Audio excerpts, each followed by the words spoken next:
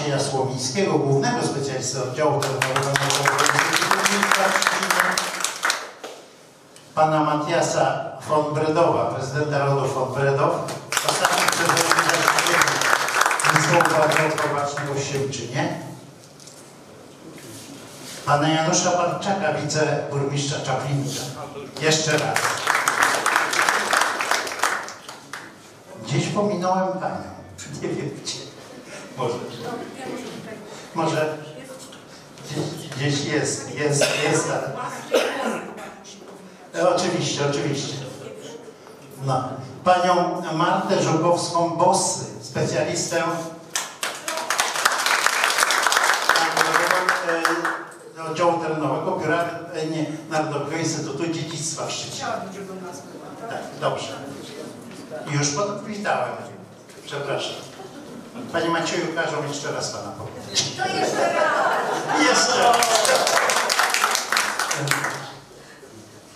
Przepraszam, to trochę moja wina, ale duża. Witam również e, pana Zbigniewa Dudora, członka zarządu powiatu drawskiego. Pana Romana Grządkowskiego, radnego Rady Powiatu Drawskiego.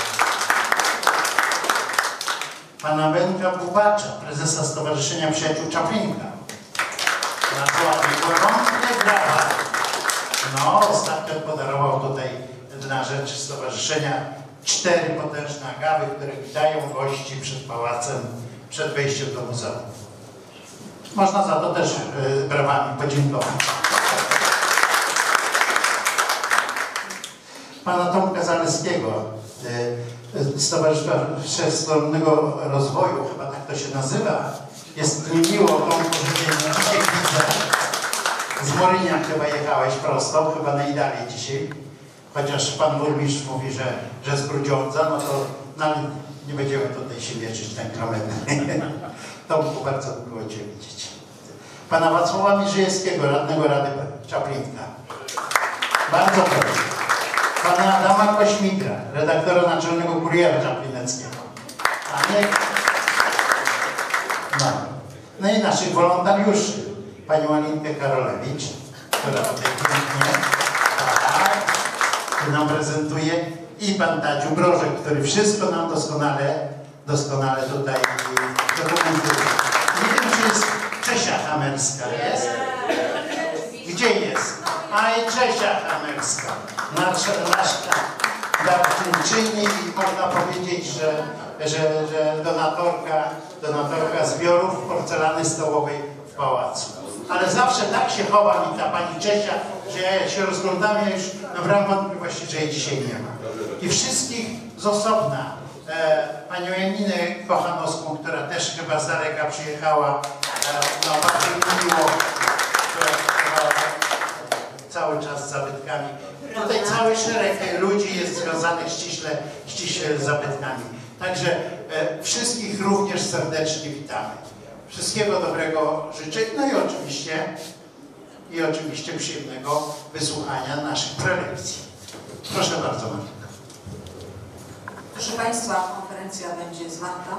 Blok tematyczny e, tutaj prowadzi, e, przepraszam, prawie jak sklepali twojego kolega kierownik, czyli Waldemar Witek, szef oddziału Szczecińskiego Narodowego Instytutu Dziedzictwa z zespołem tutaj swoim stanowiącym zasób 90% załogi. E, I ta konferencja po- poświęcona ochronie kulturowego miasta i Czaplinek. To jest właściwie pokłosie pracy i badań całego zespołu prawie rok trwającego. Proszę bardzo. Proszę.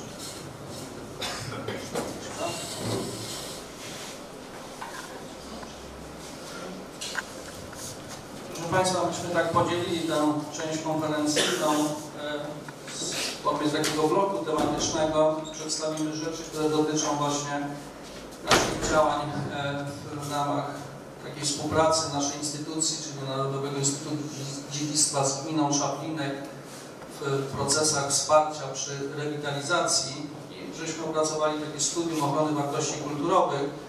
Dane nam było e, parę miesięcy temu na spotkaniu w gminie częściowo wyniki też prezentować, a dzisiaj dzięki uprzejmości też właścicieli zespołu pałacowego i okoliczności związanych z henrykowskimi dniami e, zorganizować konferencję, na której w sposób taki dość przystępny postaramy się przedstawić rzeczy dotyczące e, zagadnień związanych e, z ochroną krajobrazu kulturowego.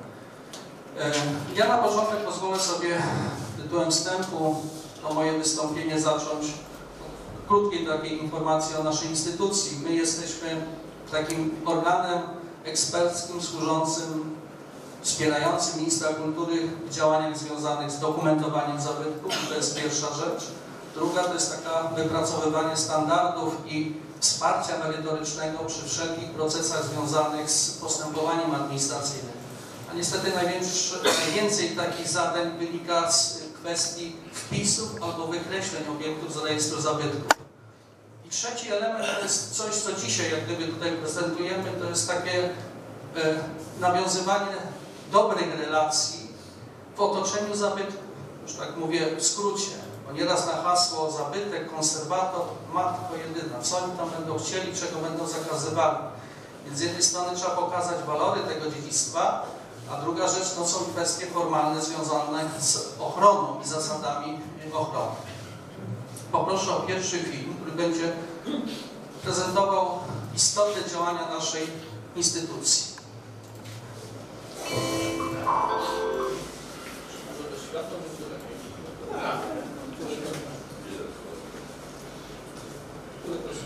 Białe. Obydwa. Czym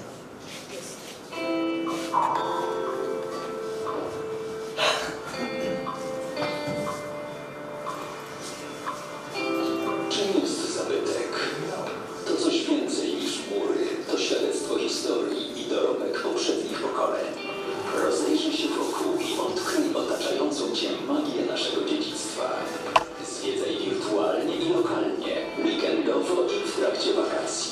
Korzystaj z dostępnych tras wycieczek lub zaproponuj własną. Zwiedzaj aktywnie i podziwiaj z bliska okoliczne zabytki. Być może znane Ci miejsca staną się kolejnymi pomnikami historii lub trafią na listę światowego dziedzictwa. Poznaj zabytki z najlepszej strony. Na portalu zabytek.pl znajdziesz filmy, trójwymiarowe modele obiektów, zdjęcia, opisy i dokumenty archiwalne.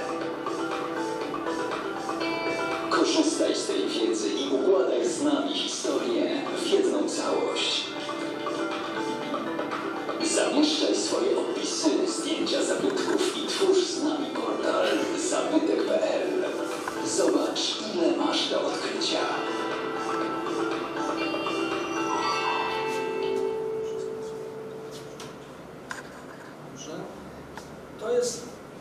Gdyby w pigułce informacja dotycząca działalności naszej instytucji. Tu jest wielu kolegów, że tak powiem, związanych ze środowiskiem e, szkolnym. Być może ko- korzystacie Państwo z takiego portalu zabytek.pl, z informacji tam zawartych. Można, tak jak jest podane w tym filmie, nawet współtworzyć. E, Mamy przygotowane takie ścieżki, e, wycieczki dotyczące pewnych tematów związanych z zabytkami. Tematem naszej konferencji jest krajobraz mamy, żeby troszeczkę to przybliżyć i żeby to nie było takie, że tak powiem, tylko moje tutaj słowo, e, poproszę w tej chwili o drugą część filmu. Będzie to trwało około 5 minut, które wprowadzi Państwo w istotę patrzenia na zabytki nie tylko przez obiekt, przez budynek, ale w szerszym kontekście kulturowym, związany też z dziedzictwem, dziedzictwem naturalnym.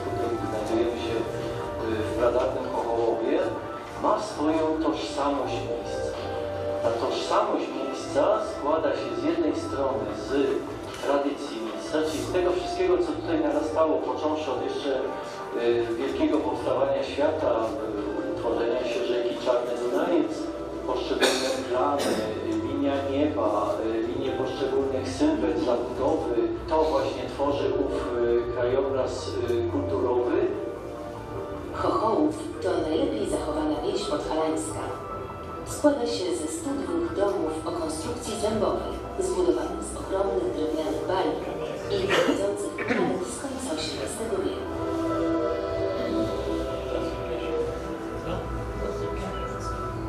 Kraków, ulica Karolicza, za nami piętrzy się wzgórze Wawerskie z Zamkiem Królewskim, z katedrą. To jeden z najcenniejszych zespołów zabytkowej architektury w kraju. Ale możemy spojrzeć na ten zespół szerzej i okaże się, że to nie tylko pojedyncze, wyjątkowe w swojej klasie zabytki, ale to także zabytkowy, historyczny krajobraz, krajobraz miasta, który nawarstwiał się przez stulecia. O ile z pojęciem indywidualnego zabytku jesteśmy oswojeni, o tyle z pojęciem zabytkowego krajobrazu wciąż się oswajamy, uczymy się go rozumieć i odbierać. Dla zrozumienia, dla postrzegania zabytkowych krajobrazów niezwykle istotne są pewne pojęcia. Sylweta to widok budowli na tle nieba koncepcja architektoniczna. Panorama to szeroki widok y, na większą część miasta. Widok, w którym dostrzegamy wieże kościołów, były budynków, wzajemne relacje poszczególnych składników miasta. Oś widokowa to wyobrażona linia, wzdłuż której patrzymy na charakterystyczne elementy, ważne elementy kompozycji urbanistycznej.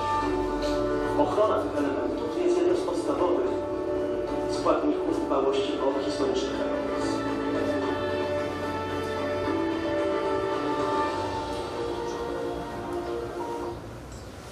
Właśnie tak tytułem wstępu wszystkie rzeczy dotyczące istotne związane z e, całą terminologią związaną z krajobrazem kulturowym. To, że w którymś momencie można byłoby przymknąć oczy i tak popatrzeć z góry na gminę Czaplinek i tak ile tych klimatów związanych z dziedzictwem, z krajobrazem naturalnym, na ile te rzeczy się przeplatają też z tymi two- tworami, byśmy powiedzieli, działalności człowieka. E, W sensie formalnym definicji, czym jest krajobraz kulturowy, generalnie jest to ślad obecności człowieka w tej przestrzeni. Wszystko to, co ten człowiek w tej przestrzeni e, wytworzył. Ten krajobraz może być harmonijny, możemy w sposób widać e, przemyślany zobaczyć rzeczy, które przenikają rzeczy naturalne i rzeczy e, kulturowe, ale może być też zdegradowany, z czego też Państwo czasami jesteście świadkami, nawet jeżdżąc do jakichś e, e, miejsc, wydawać by się mogło niezwykle atrakcyjnych, czasowych, a tam jest jakieś przeładowanie tych, tych rzeczy związanych z inwestycjami. No i przepraszam, coś mi się nie to. I to, co było też tam powiedziane, co jest tym, co jest tym, z czego składa się ten krajobraz, tak? Czyli od tej zieleni, od tych wód, od tych elementów zabudowy, e, dróg, e, rzeczy związanych z miejscami kultu, religii, e, rzeczy związanych z działalnością inżynieryjną człowieka. Na naszym obszarze w ramach programu zagos- zagospodarowania przestrzennego województwa zachodniopomorskiego wydzielono tak zwane obszary krajobrazowo-kulturowe, które przenikają jak gdyby granice administracyjne gmin i powiatów, ale ważne są z racji na zastane tam dziedzictwo kulturowe i naturalne. Tych obszarów krajobrazowych wydzielono 30 i między innymi obszar e, powiatu drawskiego, a w tym przypadku e, gminy Czaplinek jest ujęty w dwóch obszarach krajobrazowo-kulturowych, to znaczy w e, obszarze Pojezierze Drawskie, ta część południowa i obszar e, Szwajcaria Kaszubska, część północna. I tam zdiagnozowano, jak powiedziałem, Kaszubska, Boże. Połczyńska, tak jest. Na tym obszarze też e, określono i wytypowano dwa obszary, które kwalifikują się, żeby w przyszłości można było je wpisać, a w zasadzie utworzyć parki kulturowe, czyli Stary Drapin i Sienczyno. To jest oczywiście w gestii samorządu gminnego e, ewentualnie takie postępowanie, ale to wynika też z oceny tego dziedzictwa i kulturowego, i naturalnego. Ja tylko zasygnalizuję też parę spraw związanych to, co e, nam się wydaje ważne z racji e, wartości dziedzictwa kulturowego wsi. No wszyscy sobie patrzymy na te wsie, e, na obiekty w tych miejscowościach, natomiast mamy do czynienia na przykład z układami przestrzennymi, których metryka jest średniowieczna i tutaj mamy akurat przykłady dwóch wsi e, z połowy XIV wieku, o klasycznych założeniach uwalnicowych e, z centralnie umieszczonym kościołem, z tymi drogami odbiegającymi na wsią. No, oczywiście były regulowane, ale ten układ jest praktycznie powtórzony i, i funkcjonuje od okresu średniowiecznego. Jeszcze dwa przykłady, troszeczkę inny, inna kompozycja przestrzenna, e, wsi Siemczyno, układ rozbudowany w formie takiej wielodrożnicy, ale tu już jest jak gdyby wpływ i rozwoju tego zespołu dworskiego, pałacowo-folwarcznego i jak to wpływało na rozwój układu przestrzennego, na ile te wsie się zmieniały. No to coś, co jest zawsze wyróżnikiem danej miejscowości, jest taką dominantą, o czym koledzy akurat tam w filmie spo, wspominali, czyli kościół. Kościół umieszczony na wyniesieniu, kościół z reguły mamy nies- niestety, no tak się potoczyła historia, na tym terenie mamy praktycznie same XIX-wieczne kościoły z jakimiś elementami, tak jak w że jest kaplica barokowa z 1699 roku. Ale one są na miejscu historycznych wcześniejszych świątyń, czy to murowanych, czy ryglowych.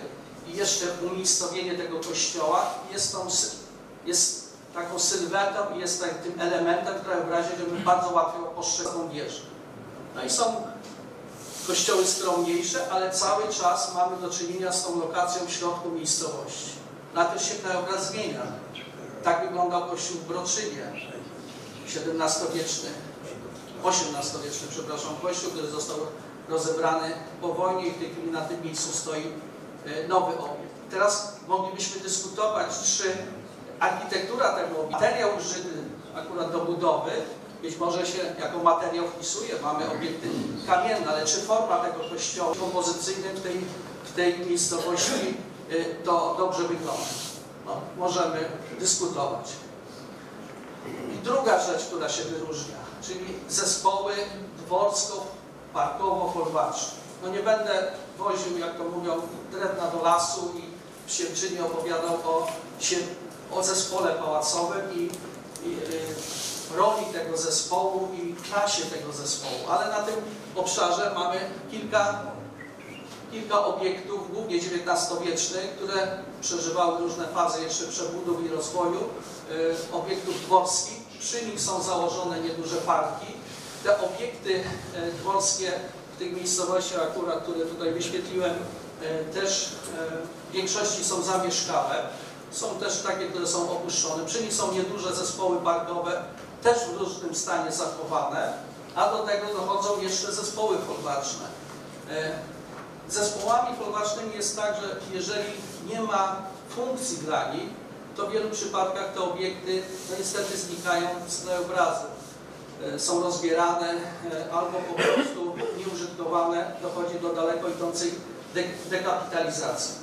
Mm, Co jest jeszcze ciekawe, Tutaj jest wiele osób, które na wyrywki podejrzewam znają e, topografię terenu i rzeczy związane z gminą Czarkinek.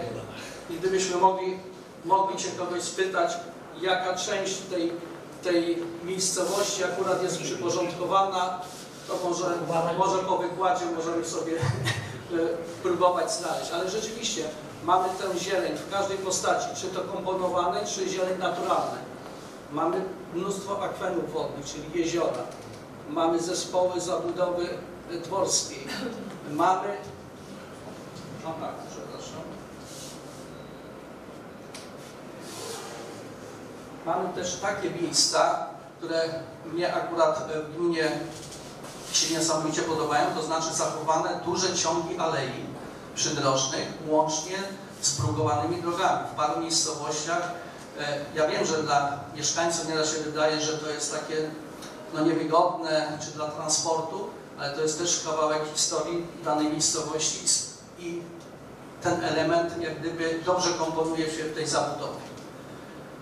No i na koniec chciałem tak troszeczkę podsumować i tak y, prowokacyjnie pomyśleć, jakbyśmy tak popatrzyli dziedzictwo kulturowe, no co jest tym dziedzictwem? No, będziemy patrzeć przez pryzmat tego wiatraka. No gdyby ktoś z Państwa odziedziczył taki rozwalający się wiatrak, no to tak pomyśl, no kłopot, no kłopot, co tu zrobić? Co wymyśleć, czy go remontować, czy nie remontować? Ja pozwoliłem sobie użyć takie zdjęcia tu z Siemczyna, Panie Prezesie, dotyczące, no Pan też odziedziczył, w takim stanie ten, ten. No i w zasadzie to jest element dziedzictwa. No i teraz o czym to dziedzictwo mówi? Czy to dziedzictwo mówi o naszych przodkach, o naszej wsi, o naszej wsi, o naszym regionie? No w zasadzie tak. Mamy to potwierdzone, udokumentowane. Czy to ma jakieś wartości? Teraz jak jesteśmy w tym obiekcie, możemy też mówić o wartościach i architektonicznych, i historycznych, i w kontekście, że tak powiem, wykorzystania tego obiektu, czyli ten zabytek to dziedzictwo po jakimś też zrozumieniu wartości i po pracach remontowych, wykorzystane do nowej funkcji, ono nie tylko żyje, ale przekazuje też tę tradycję. No i jakbyśmy na koniec mogli powiedzieć, czym to może nam, nam pomóc, Panie Prezesie? Czy to Panu pomaga, pomogło z jednej strony uratować stary budynek? Ma Pan świadomość, że zachowuje Pan unikatowość miejsca? Czy też poczucie dumy z historycznej tradycji? A może pomogło rządzić życie na nowo? Więc to są takie pytania i wyzwania w tym momencie związane akurat z tym miejscem. I w ten sposób możemy opowiadać o innych miejscach. Bardzo często jest tak, że nie potrafimy nawet jakichś drobnych rzeczy do, do, docenić z jakiegoś y, terenu albo dziedzictwa. Ja się cieszę, że tu jest tylu regionalistów na tym obszarze, którzy właśnie drążą te elementy. Y, y, Niektórzy patrzą na zabytki w szerszym kontekście, porównując czy analizując ich wartości. Ale zrozumienie historii danego miejsca, jak ludzie rozumieją wartość, to próbują to zachować, a jak są środki, próbują w sposób e, e, prawidłowy czy to remontować, konserwować. To z mojej strony to wszystko tytułem wstępu dotyczącego dziedzictwa kulturowego gminy Szaplinek i teraz przejdziemy do tematów związanych z poszczególnymi elementami. Dziękuję uprzejmie. Dziękujemy bardzo za ten wstęp i do e, sposobu ratowania lub nie e, krajobrazu kulturowego wrócimy jeszcze na zakończenie, żeby przedstawić Państwu takich parę przykładów jątrząco drążących. A teraz poproszę Panią e, Martę Bosy, Mar- Martę Żukowską-Bosy, która jest specjalistką pracowni terenowej Narodowego Instytutu Dziedzictwa, jest archeolożką, proszę Państwa, i archiwistką, i konserwatorką zabytków. Teraz nie ma jednego fakultetu, tylko trzy, ale Pani Marta jest również praktykiem, e, ponieważ e, w tych dziedzinach swoich pracuje. I ja Państwu powiem jedną ważną rzecz. Ona zajmuje się e, z ramienia Narodowego Instytutu Dziedzictwa w naszym województwie nadzorem e, nad inwestycjami drogowymi, czyli sprawuje nadzór archeologiczny nad pracami na S-trójce i S-11, a Archiwum które jest bardzo przeogromne, również jest pod jej pieczą. Więc w sumie jest to bardzo ważna osoba, prawda, Panie Kierunku? Tak jest. Dziękuję serdecznie. E, Witam Państwa. E, Powiem tak, chciałabym po prostu przedstawić Państwu na początek przykładą, ale to wkrótce tylko, jak wygląda dziedzictwo e, na terenie właśnie gminy, a dziedzictwo archeologiczne na terenie gminy Czaplinek. Od 78 roku istnieje, ponieważ nadal, e, nadal trwa jego projekt e, archeologicznego zdjęcia Polski. Myślę, że niewiele osób o tym słyszało. Polega to na tym, że grupa archeologów jest puszczana w teren, to po polach, lasach, łąkach, szukają miejsc e, teoretycznej bytności ludzi i dokładnie patrzą po prostu pod nogi, co widzą. E, czasami zdarza się, że jest to po prostu jeden fragment ceramiki, krzemienia, czegokolwiek. Wtedy jest e, oznaczany tak zwany ślad osadnictwa, że coś tu mogło być, ale nie musiało. E, jeżeli tego jest trochę więcej, 10 fragmentów, to już jest punkt osadniczy, coś się dzieje. A jeżeli już zaczynają się jakieś konkretne konkrecje, właśnie takich ruchomych artefaktów, zaczynamy mówić o osadzie, o obozowisku. Nawet e, jeżeli widzimy jakiś fragment e, pozostałości budynków, szczególnie oczywiście nowożytnych, mówimy o wsi, osadzie. Taki e, przykład mamy właśnie w miejscowości Stare Gądy, gdzie w zasadzie dostrzeżono pozostałości i osady, czyli wsi, i cmentarze. To są nowo, nowożytne rzeczy, ale ponieważ tak naprawdę na powierzchni niewiele pozostało po nich, e, są w rejestrze archeologicznym, a nie e, zabytków e, architektury. Mamy tutaj podział na, na epoki, one są dosyć uproszczone e, ze względu na tą konferencję, ponieważ pod epokę brązu tutaj powiedzmy wyciągamy epokę raczej kulturę łużycką, która wchodzi wczesnego, wczesnej epoki żelaza, tak samo wczesna epoka żelaza e, obejmuje częściowo mm, e, czyli funkcjonuje w tym okresie kultura pomorska e, i jeszcze e, kultura oksywska. Także mówię, w jeden po prostu woreczek porzucałam, żeby Państwu tutaj było łatwiej e, zauważyć pewne zależności. E, Epoka kamienia jest dosyć rozległą e, epoką. E, Wchodzą też w nią e, wczesne kultury e, ceramiczne e, z obrębu neolitu. Stąd mamy dosyć sporo tych stanowisk, to jest 66. E, Potem proszę zobaczyć, e, prawie nic nie ma, epoka, epoka żelaza 20, w ogóle w okresie wpływów rzymskich mamy 6 punktów takich zauważonych. Dopiero we wczesnym średniowieczu zaczyna ilość tych punktów narastać poprzez średniowiecze i wiek oczywiście, można się domyśleć, okres nowożytny i już jest, e, jest apogeum wtedy e, osadnictwa, więc faktycznie widać, że tych obiektów jest dużo, czyli stanowisk archeologicznych.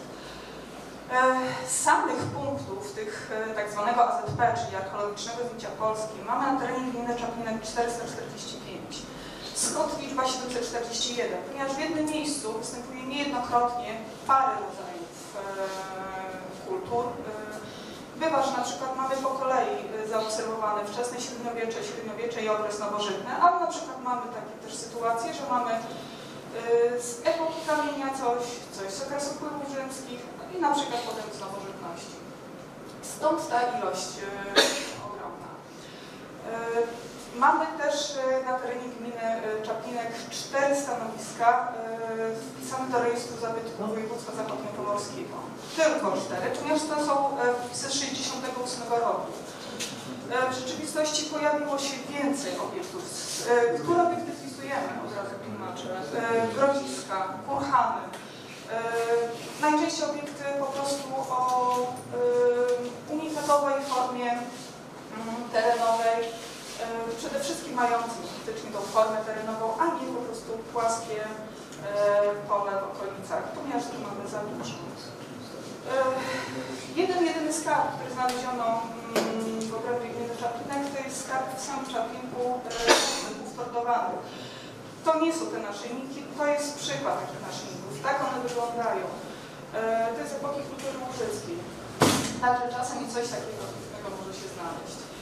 E, Chciałam pokazać Państwu skupiska. Tak wyglądają właśnie takie punkty AZP na mapie. W ten sposób archeolodzy po prostu wiedzą, w których miejscach e, było osadnictwo e, na terenie gminy Czaplinek, w których nie tylko, a w których nie. I mamy tutaj na przykład w obrębie Siemczyna mm, dosyć rzadko rozrzucone, ale jednak proszę zobaczyć, co się dzieje w Czaplinku i w okolicy Łomotu. To już mamy całkiem duże skupiska e, natężenia takich stanowisk. Tak samo e, obręb e, Stary Drawsko i Sikory. E, Także widać po prostu natężenie e, małych, drobnych punktów, a czasem nawet trochę większych plam, które mogą świadczyć o tym, że to już były wręcz e, większe osady. E, Jeszcze mamy Żółczewo i Prosinko i to w zasadzie by było wszystko. Wszystkie pozostałe tereny są dosyć słabo E, Tutaj mamy taki właśnie e, e, przykład Czarnego Małego oraz Broczyna, które owszem są bardzo, mają bardzo rzadkie mm, położenie stanowisk, ale za to jest to bardzo duże nasilenie, natężenie stanowisk z epoki kamienia. To tam tak samo to tam e, w jeszcze w obrębie Pławnej Cigłowy, to tam najczęściej właśnie znajdowano stanowiska e, z tego terenu. W pozostałych obrębach albo pojedyncze, albo wcale. E, W epoce brązu mamy owszem 9 stanowisk, ale e, prawie wszystkie, oprócz może jednego, są skupione na północ od Czaplinka, e, w obrębie właśnie jeszcze miasta i w obrębie już, już e, koło Montu. E, Jak wygląda wczesna epoka żelaza? E, Tutaj mamy na Wyspie Bielawej, e, Bielawa i w obrębie Czarnego Morza. Też proszę zobaczyć, jak tego jest malutko tak naprawdę. E, I już tutaj wczesne średniowiecze e, u nas się pojawia, ponieważ mm, tak jak wcześniej mówiłam, okres wpływów rzymskich e, podarowałam sobie, bo to naprawdę są pojedyncze, bardzo mocno rozrzucone punkty. E, tymi niebieskimi kołami zaznaczyłam e, stanowiska archeologiczne widoczne w terenie, a mianowicie tutaj w, si- e, w obrębie Siemczyna, jedno i drugie, to są dwa grodziska, z tym, że to północne jest nie tylko e, powiedzmy grodziskiem, ale jest obok również e, osada z nim związana i cmentarzysko kurhanowe. To jest bardzo ciekawa sytuacja i no, dosyć rzadka, rzadko wyłapywana w terenie, ale jednak. Pozostałe te czerwone obręby, tak samo tutaj proszę zauważyć, e, to już są zwykłe po prostu osadnictwa, nic więcej. Pojedyncze po prostu kropki, mm, ceramiki, po prostu e, ślady nie wiem, ewentualnie krzenie, nic więcej. E, Tutaj mamy w okolicach faktycznie troszeczkę na północ od większe też natężenie z samego wczesnego średniowiecza. Ono w ogóle idzie takim pasem północnym, troszeczkę właśnie odbijając stronę e, Siemczyna. E, z tym, że mamy tutaj właśnie jeszcze mm, dwa, również tutaj dwa grodziska i tutaj jedno w Sikorach, oddalone. Z tym, że to jest również powiązane z tym małym obiektem, czy, który może świadczyć o tym, że była tam osada związana właśnie z tym grodziskiem, ale to nie jest potwierdzone. W późnym średniowieczu e, mamy już tak naprawdę o wiele więcej tych stanowisk, które są rozsiane po całym, e, całej gminie. W jednych miejscach tworzy skupiska, w drugich są właśnie z rzadka tylko e, pojawiają się. Chciałam Państwu tylko te skupiska akurat pokazać, e, więc mamy właśnie Kluczewo Prosną, E, To jest jakby jeden, jeden większy punkt. E, I Prosinko tutaj też wchodzi w, w, tą, e, w te skupiska. I jeden, jedyny faktycznie e, no grodzisko, w zasadzie strażnica praktycznie tak naprawdę, a nie grodzisko, ponieważ już w tym okresie, w późnym średniowieczu, ciężko mówić o grodziskach, które są po prostu, jeżeli nie są opuszczane, to są po prostu tak naprawdę zamieniane na jakieś strażnice, zameczki, a potem tak po późnym średniowieczu są opuszczane. E, tutaj także jeszcze e, mamy z obrębu Piaseczno e, i Stare Drawsko. Mm, Faktycznie tutaj mamy na pewno jedną strażnicę. Mamy również niby grodzisko, niepotwierdzone tak naprawdę e, tego, że jest grodziskiem, ale e, obok istnieją po prostu dwie osady, e, które są datowane na późne średniowiecze i może być to obiekt powiązany z tym, ale może być też naturalna forma. Ciężko nam powiedzieć. Nadal istnieje w rejestrze, jest to po prostu mówię, nie, niewykasowane, więc nadal należy go po prostu traktować jako grodzisko. Tu też jest ciekawa sytuacja w samym Drawsku Pomorskim, ponieważ tak, tak, o Jezu, przepraszam, Stare Drawsko, ponieważ e, mamy faktycznie, wcześniej było e, grodzisko wczesne średniowieczne e, z razem pod Grodziem, e, później powstał zamek w tym miejscu i dalej faktycznie też widać, e, pojawiają się osady z nim związane. Też pojawiają się bardziej tutaj na północy, więc e, widać, że już powoli ten region coraz bardziej tętni w życie. Tutaj też mamy już bardziej na południowym wschodzie e, samej gminy, mamy Marliny i Turze. E, To są w zasadzie jedyne dwa zamki, pozostałości zamków, e, wpisane w rejestr archeologiczny. Dlaczego nie Stare? E, Ponieważ to jest na tyle duży obiekt, że jest w rejestrze architektury. Więc jest też objęty ochroną, ale, ale już wtedy pod, pod archeologię nie podlega. Teraz chciałam Państwu pokazać e, tutaj wybrane przykłady takich stanowisk, jak one naprawdę wyglądają w terenie, e, w jaki sposób my je odbieramy jako archeolodzy. E, Zacznijmy od Siemczyna. Tutaj jakbym zamiedzał e, zaraz faktycznie za, za parkiem. Mamy punkt osadniczy, czyli parę fragmentów ceramiki zostało odnalezionych. Tak wyglądał ten punkt zaznaczony na, tak jak to czerwone kółeczko na, na dokumentacji. Ponieważ e, miałam okazję w marcu, bo to jest, są najlepsze miesiące tak naprawdę marzec, luty, e, dochodzenia po terenie i szukania właśnie jakichkolwiek pozostałości archeologii. E, udało mi się znaleźć, znaczy poszerzyć obręb tego tak naprawdę stanowiska, ponieważ o wiele bliżej parku znalazłam również ceramikę. E, W miejscu, e, jak widać, zupełnie właśnie taki mały fragmencik wystarczy, żeby po prostu potwierdzić, że w danym miejscu już mogło coś być. Owszem, jest to stok wzgórza, mogło być to przeniesione poprzez orkę rolną, mogło być rozmycie, z tym, że w tym miejscu akurat jest trawa to raz, dwa, y, ta ceramika pochodzi z Kretowic. To jest najwspanialsze y, miejsce do szukania w miejscach y, jakby niedostępnych dla archeologa w rzeczywistości. Po prostu szuka się kopców, kretów, w niej się patrzy, czy cokolwiek jest. To jest najlepsza pomoc dla archeologa w terenie. Tak, nieinwazyjna, absolutnie. E, tak wygląda to stanowisko. Jakby Państwo chcieli bardziej jakby zlokalizować, który to jest e, teren. Także widać tuż przy samym parku bliziutką. Tak, tak, no łące prezesa. Prezes również ma stanowisko, ale tak, to jest to stanowisko, tak jak pokazywałam ten duży okrąg. Widać, że jest to takie niewielkie wzgórze, to jest ten fragment, którym, o którym, rzekłabym, poszerzyłam, ale też tutaj zaczyna się kolejne. Tak to wygląda w terenie, po prostu zwykłe pole, nic poza tym. A sama ceramika, jak Państwo wcześniej zauważyliście, czasami kolorem zupełnie od ziemi się nie różni. To naprawdę trzeba się przyglądać dobrze. E, Tutaj chciałabym teraz pokazać Państwu e, dwa grodziska właśnie związane z e, obrębem Księżyna, które jeszcze nie są e, w rejestrze takim ogólnym archeologicznym, nie są wciągnięte, ale już są pod obserwacją, także na szczęście ten obręb będzie ujęty e, ewidencji tutaj e, wojewódzkiej i, i przede wszystkim e, będzie po prostu nadzorowany. To są, tak jak wcześniej mówiłam, wczesne średniowieczne grody, z tym, że zaczniemy od tego wczesnośredniowiecznego zespołu osadniczego, bo tak to ładnie się nazywa.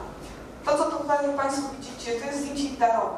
Mm, W zasadzie po 2010 e, rozpoczęto skaning laserowy całego obszaru Polski. Po prostu leciał samolot z odpowiednią aparaturą, skanował teren, E, dzięki czemu możemy zobaczyć e, różnego typu nierówności e, w terenie, które ogólnie rzecz biorąc nie są możliwe do zaobserwowania z powodu zalesienia najczęściej. Drugie właśnie jakiś, tutaj widzimy zresztą pięknie, że tutaj kiedyś było faktycznie jezioro, obecnie jest to Zatoka Henrykowska, ale praktycznie ona biegnie tędy, proszę Państwa. Tego tego wypłycenia terenu za bardzo nie widać. Jedynie w terenie jak się jest, że jest jakiś teren podmokły, zarośnięty drzewami, e, nic poza tym. Gdzie mamy grodzisko? Grodzisko jest tutaj, proszę Państwa, i ono pięknie się tutaj, mamy pięknie widoczne wały, e, mamy tutaj osadę związaną z tym grodziskiem i mamy również kurhany. To są te malutkie kopczyki tutaj, E, Wszystko leży obok siebie, jest jednoczasowe najprawdopodobniej e, i jest w miejscu, że powiem, e, uwielbianym w, podczas, e, czyli przez ludzi w tym okresie, czyli obronnym, e, a przy okazji e, z dużym dostępem wody, żywności. Także w takie miejsca, jeżeli archeolog zobaczy, szczególnie teraz właśnie dzięki takiemu widerowi, od razu idzie w teren, sprawdza, co się dzieje. Bo fantastycznie właśnie mówię, widać na nim, jak, jak się tworzy cała, cała konkrecja, cały taki układ osadniczy, który normalnie wcześniej nie był odkryty, bo nie był kompletnie widoczny. Tak wygląda troszeczkę w przybliżeniu. Nie wiem, czy Państwo e, jesteście w stanie trochę dostrzec te kurhany akurat tutaj. Ale to mówię, to takie małe, małe figureczki, nic poza tym. Tak wygląda grodzisko w terenie. Mamy wyniesienie, które było widoczne na zdjęciach, zdjęciu wigarowym. I tutaj już schodzi wygłębienie. Tutaj mamy takie małe, pozostałość jeszcze wały. No, idąc na grzyby, myślę, że mało kto by zwrócił uwagę na coś takiego. Ale jednak. E, tak samo tutaj. E, Mamy dosyć stromy stok z tej strony, właśnie schodzący do Zatoki Henrykowskiej. Mamy to wypłynięcie terenu i mamy tutaj bardzo ładny wzgórek. Tutaj jeszcze kolejne. Tak wygląda w ogóle otoczenie tego grodziska. Także, tak jak mówiłam, z jednej strony mamy po prostu moczary, które mogą wysyłać nie muszą, a z drugiej po prostu jeziorko. E, tutaj mamy osadę. Osada wyraźnie, tutaj jest, jest to teren wyraźnie wykłócony, spływający, tak jak też tam widać było na, na widarze. Tam jeszcze dalej oczywiście jest taka bardziej wykłócony jest teren, który też prawdopodobnie był za, e, zaludniony. Zresztą widać troszeczkę na tym zdjęciu, bo staram się po prostu pokazać Państwu, e, chociaż częściowo, kształt właśnie tej, tej wyższej części osady i jeszcze tutaj troszeczkę tego wypłycenia. E, tak wygląda terenie Kurhan. Ten jeszcze jest naprawdę dobrze widoczny. E, Jest to po prostu bardzo regularny, okrągły wzgórek. Tutaj widać jego, jego zakole. Oczywiście e, w tym, e, w tym okresie one miały taki kształt, akurat w wczesnym średniowieczu, troszeczkę wcześniej również, ale głównie w, w neolicie po prostu miały bardziej podłużne, rzekłabym nawet swój kątny kształt, ale to tylko wtedy. Tak wyglądają pozostałe kurhany. Także też naprawdę są bardzo słabo widoczne w terenie. Dlatego y, muszą Państwo zrozumieć, jak dla nas istotnym takim źródłem y, poznania y, i znajdywania kolejnych obiektów właśnie jest to zdjęcie widarowe, na którym fantastycznie jest to widziane, znaczy widoczne, gdzie w terenie po prostu i tak przy dobrej widoczności, bez większego mm, porośnięcia tutaj jakąś tam roślinnością niższą i, zazielenia drzew, jest nadal dosyć słabo widoczne. E, Kolejnym grodziskiem jest grodzisko e, tutaj na jeziorze Wilczkowo. E, Tutaj bardziej na południowy zachód od Siemczyna. Tutaj nie mamy żadnej osady obok, ale jak Państwo widzicie, jest bardzo ładnie widoczne na samym lidarze. Z tym, że też tutaj zwrócę Państwu uwagę na to drobne wcięcie. Jest to prawdopodobnie pozostałość przejazdu bramnego, tak to interpretujemy, e, którym po prostu się dostawano do wnętrza e, grodziska. Tak to wygląda grodzisko mm, z brzegu akurat, a jest to ten teren. Nic więcej, po prostu zwykły, zwykły cypel, zwykły. Mm, Tak wygląda no w terenie. Zobaczcie Państwo, jaka jest ogromna różnica właśnie między, między terenem a, a zdjęciami widarowymi. Tu już e, pod tym kątem już możemy coś zaobserwować. Możemy zaobserwować faktycznie wypłycenie terenu, możemy ten ogromny spadek. Jest też tutaj bardzo słabo widoczne, właśnie taka leciutka jakby fosa, przegłębienie terenu, aczkolwiek ten półwysep i tak prawdopodobnie był naturalnie chroniony i e, zalewany. E, tu mamy zdjęcie tego przejazdu bramnego. Za tą flarę niestety przepraszam, ale tak słońce padało, nie dało się inaczej go zrobić. E, To nie jest, nie jest naturalne przegłębienie. To ktoś kiedyś wykonał. Tutaj mamy z drugiej strony. Stąd, e, stąd nasze domniemanie, że jest to faktycznie przejazd bramny. Tak wyglądają stoki od strony jeziora. Też proszę zobaczyć, bardzo dobre miejsce właśnie jako miejsce osiedlenia się, właśnie miejsce obronne, a mówię zarazem z dostępem do wody i do żywności w postaci.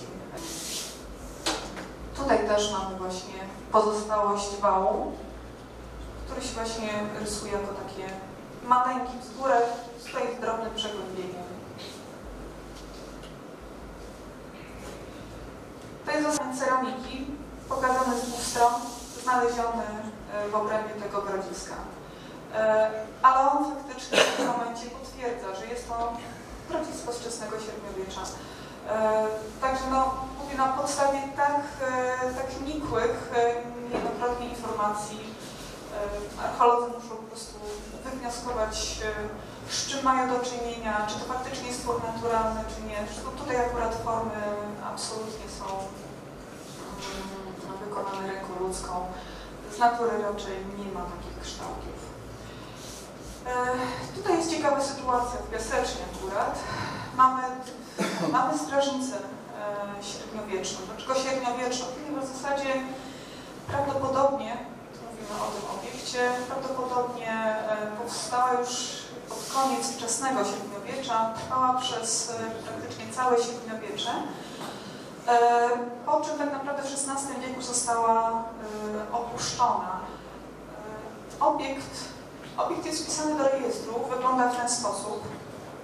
Proszę zobaczyć, jak ma regularne kształty. Ma faktycznie w postaci prostokąta. Tutaj już prawdopodobnie zostało to miejsce rozmyte, zawalone. Chciałabym Państwu zwrócić uwagę na ten fragment, ponieważ pokażę go zaraz Państwu. Jest to jedyny fragment fosy i wałów wzmocniony kamieniami. E, tak to wygląda w terenie. Może uda mi się, zobaczymy. O, proszę zobaczyć. E, faktycznie tutaj nie jest to naturalne, naturalne e, nagromadzenie kamieni, ze względu na to, że nigdzie w okolicy nie ma takiego miejsca. Nawet po drugiej stronie tego grodziska. E, wydają się luźno, luźno tak rozrzucone, ale w pewnych y, momentach tworzą po prostu jakieś takie dosyć czytelne układy. Tutaj jeszcze raz. Wow.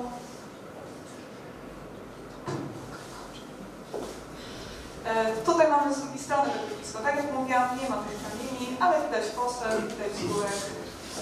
E, Tutaj jest drugie, e, to domniemane grodzisko, o którym wcześniej powiedziałam, ale przynajmniej jest zaraz obok osada e, późna średniowieczna. Stąd po prostu nie wyklucza się jeszcze tego obiektu. Stare Drawsko, tutaj jest do- dobry przykład ciągłości osadniczej tak naprawdę. Proszę zobaczyć jak to wygląda też z widaru. Piękny, prostokątny, prawie kwadratowy kształt. Mm, Obecnie zamku. To jest próba rekonstrukcji grodziska wczesnośredniowiecznego, które było wcześniej. E, ono się różniło kształtem. E, Obecnie obiekt wygląda tak.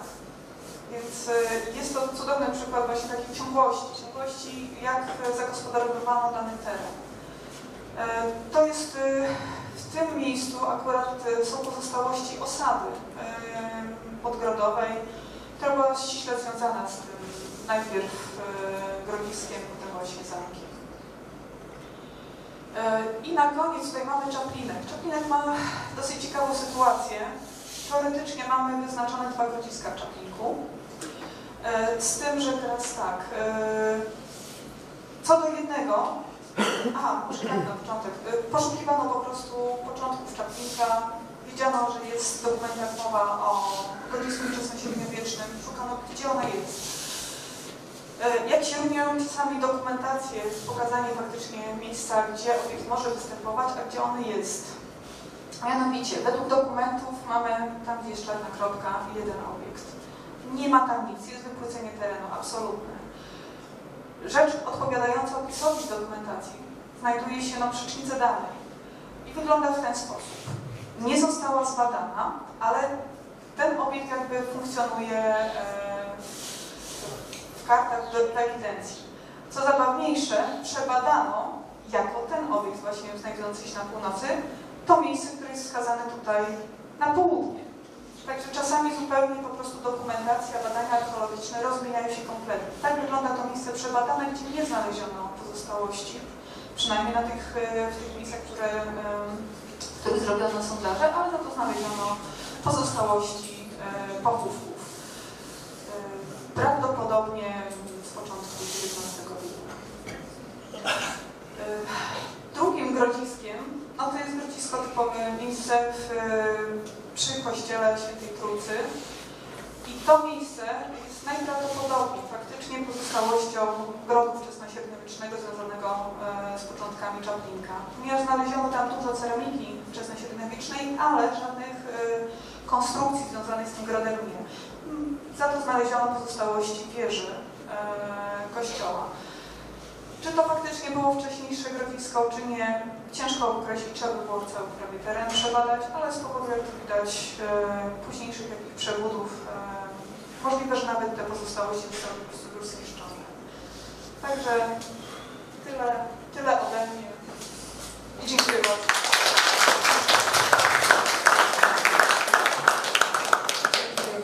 Pani Marcie Żukowskiej-Bosy, która nas tutaj wprowadziła w czasy najdawniejsze. E, I bardzo dziękuję za dyscyplinę czasową, ponieważ e, Pan Prezes nas tutaj bardzo ostro pilnuje. E, Drugim referentem ze Narodowego Instytutu Dziedzica będzie Pan Radosław Walkiewicz, starszy specjalista, który jest historykiem, poznawcą, specjalistą do spraw zabytków nieruchomych, ze szczególnym uwzględnieniem zespołów rezydencjonalnych i obiektów administracji publicznej. Panie Radku, Pan jest autorem licznych publikacji, opinii o dworach, pałacach, a nawet w tym roku wyszła publikacja wydana przez Akademię Sztuki e, dotycząca e, historii dziejów Pałacu Siedztwa w Szczecinie, jednego z obiektów obecnych, gdzie mieści się Akademia Sztuki. Oddaję Panu głos. Dzień dobry. Jestem zastosowany na uniżenie spale. Dlatego musi Pan mieć mikrofon, bo się Pan nie nagra.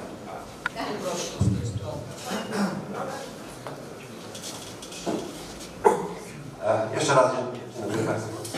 E, ja parę, parę słów powiem na temat rozwoju przestrzennego miasta Czapinka. To znaczy rzeczy, których nam się udało ustalić. E, e, większość Państwa znają pewnie, że ziemia czapinecka w, średniowieczu, w XIII, XIII wieku została podarowana e, zakonowi templariuszy. E, Później po kasacie zakonu templariuszy e, te ziemię z całym bytkiem przejęli Joanici. Wiadomo, że w 1345 roku jest konkretny dokument, który mówi o e, castrum e, i o pidium. Tak? Czyli wiemy, że na pewno była jakaś, jakiś powiedzmy zamek e, i osada obok się rozwijająca. Tutaj chciałem pokazać właśnie, że dokładnie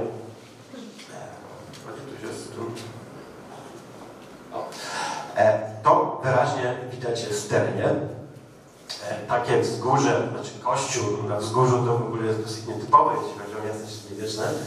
E, Raczej to się koje... e, no, no na pewno jak e, e, zakon tutaj istniał, to kościół był ważną rzeczą, to były zakony jednak religijne i na pewno wtedy e, powstał zespół budynków gospodarczych na tym wzgórzu z kościołem, a obok po prostu rozwijała się osada. E, Tyle można tak przypuścić. E, I tutaj chciałem pokazać, że właśnie e, e, akurat w Czapinku wiadomo, osadnictwo trwało, więc to wzgórze zamkowe zostało mocno wypłycone podczas późniejszych bytności ludzi. Tutaj chciałem pokazać taki przykład właśnie taki dobrze zachowanego właściwie zamku takiego wczesnego z XIII wieku mm, w Płotach. Taki prostokątny obrys.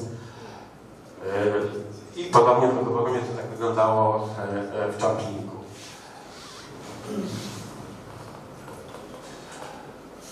E, A, i tutaj właśnie chciałem pokazać, to jest akurat e, kataster z, z 1853 roku. Są tylko zaznaczone jakieś poprawki, tak więc nie jest cała zabudowa pokazana, ale właśnie pokazałem chciałem to wzgórze kościelne, tak, że ono jest dosyć, no, mm, w ogóle w miastach średniowiecznych raczej kościół był zintegrowany z całym układem przestrzennym, a tutaj widać, że ten kościół jest taki, trochę ma inny byt do tego regularnego układu miasta, o czym właściwie właśnie później. E, I tutaj mamy jeden jest kościół, pięć to jest właśnie Papenhof. W literaturze pojawia, mowa jest o Papenhof. E, nazwa czyli wskazuje, że na pewno chodzi o plebanię, która powstała jeszcze w średniowieczu.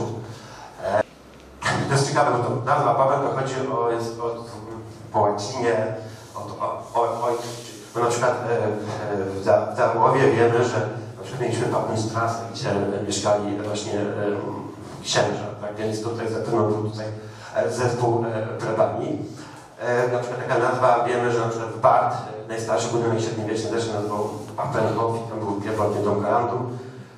Tak więc to musiał być ten, ten, ten, budynek obok, obok kościoła. Miasto prawdopodobnie, znaczy tych rozwijało się swobodnie, to znaczy stopniowo. Znaczy miasto, właściwie osada, bo nie ma dokumentu lokacyjnego, tak? czyli raczej go na pewno nie było. Poza tym mm, ale też miasto Czepnik jest dosyć ciekawym miastem, gdzie mamy do czynienia z fałszowaniem dokumentów, ponieważ e, wiemy, że któryś z dokumentów, mianowicie mających mm, przesuwać lokację miasta na XIII wiek, już dokładnie nie pamiętam, został sfałszowany. Prawdopodobnie to się wiązało z okresem przyjmowania e, Czaplinka przez elektorów brandenburskich po prostu mieszczanie nie byli pewni, jak się będzie zachował nowy władca. E, tak więc e, e, prawdopodobnie kupili sobie dokument, który miałby e, e, udowadniać istnienie czy to przywileje miasta jeszcze sprzed czasów polskich. Mm. Właściwie pierwszy konkretny dokument o istnieniu miasta no to mamy z 1502 roku. Tak? E, Wtedy na przykład e, mm, mówi o nadaniu mm, miastu mm, e, prawa lubeckiego. Oczywiście to był też taki, jakby to powiedzieć, on pisze o mieszance prawa lubeckiego i prawa zwyczajowego.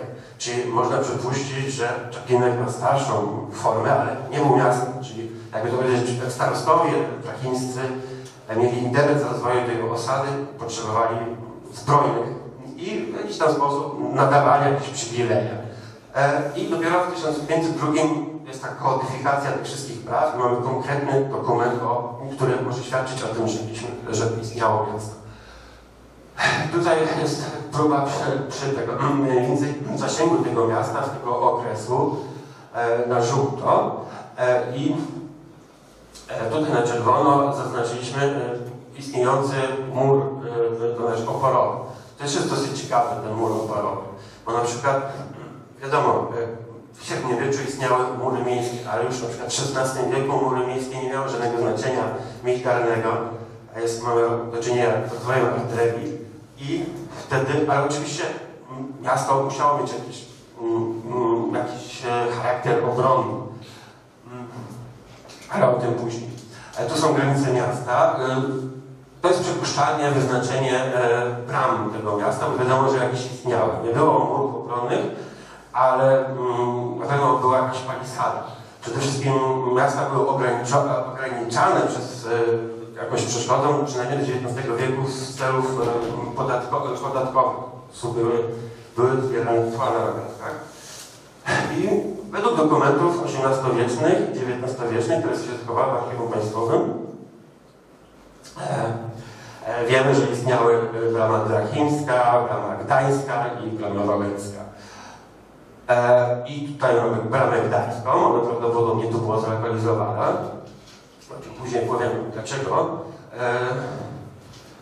E, e, tutaj jest brama wałęcka, bardzo dobrze to widać w układzie przestrzennym. E, tu są domniemane przez nas fosy, co one się zachowały tutaj jeszcze w, mm, do dzisiaj właściwie w, e, to nie są twory naturalne. Poza tym to też widać w układzie przestrzennym u- ulic po południowej stronie miasta, że tam było więcej jakichś przeszkód. E, To jest e, drama trachimska. Z tą jest największy problem, ponieważ e, tak się dużo zmieniło. Tutaj chciałem pokazać, e, że to jest po, pi- pierwotny, po latach 50., 60. XIX wieku całą jezdnię nadsypano. To jest pierwotny poziom. To widać po tych budynkach, tak? Że tutaj mamy takie właśnie e, szyby przy budynkach. Na przykład budynki późniejsze, powstałe już w późniejszym okresie czasu, po 1860, jak ten młyn, są na poziomie ulicy, a te dwa, są stare domy, to widać na starych fotografiach, są poniżej poziomu. I tutaj mamy prawdopodobnie pierwotny dróg. E, Jak przebiegała brama, e, gdzie stała brama e, e, to trudno powiedzieć, ponieważ budynek przy Jagiellońskiej 65 ewidentnie nie trzyma linii ulicy zabudowy tej, tej, tej wcześniejszej e, i powstał mm, ewidentnie do granic XIX wieku, czyli jako na, na surowym korzeniu. Mm. O, to jest ciekawe, bo to są mury oporowe. One oczywiście z różnych czasów pochodzą, bo konstrukcja pokazuje, że tutaj to na przykład no, to mamy XIX ewidentnie, ale na przykład właśnie i domniemamy, że to jest, to forma tarasu jakiegoś, na przykład gdzie w XVI wieku już miała coraz większe znaczenie artyleria i, i uwzględniają warunki obronne miasta otoczonego różnymi bagnami czy, czy, czy, czy kanałami, to mogła być właśnie forma jakiejś, jakiejś takiej obrony miasta. Ale ten, ten mur na przykład ewidentnie wygląda jest stary. Ten fragment tutaj. Nie? On taki jest bardzo podobny na przykład do murów miejskich średniowiecznych e, w Gryficach. Tylko, że to jest mur nowożytny. Ten fragment kamienny murów w Gryficach też jest nowożytny. Z, wiadomości różnych wiadomo, że e, reka często wylewała i tam te mury od strony reki były często odbudowywane. Ponieważ mury po drugiej stronie są ceglami. E, I to jest tak. Właściwie o tym wcześniejszym e, mieście to niewiele wiadomo, poza tym, że ten, e, z tamtego czasu może pochodzić ten mur oporowy i te bramy. E, wiadomo na przykład natomiast, że mm, miasto e, spłonęło w 1725 roku doszczętnie. E, I e, zostało budowane z mm, pieniędzy państwowych. Niech pan mówi 15 minut.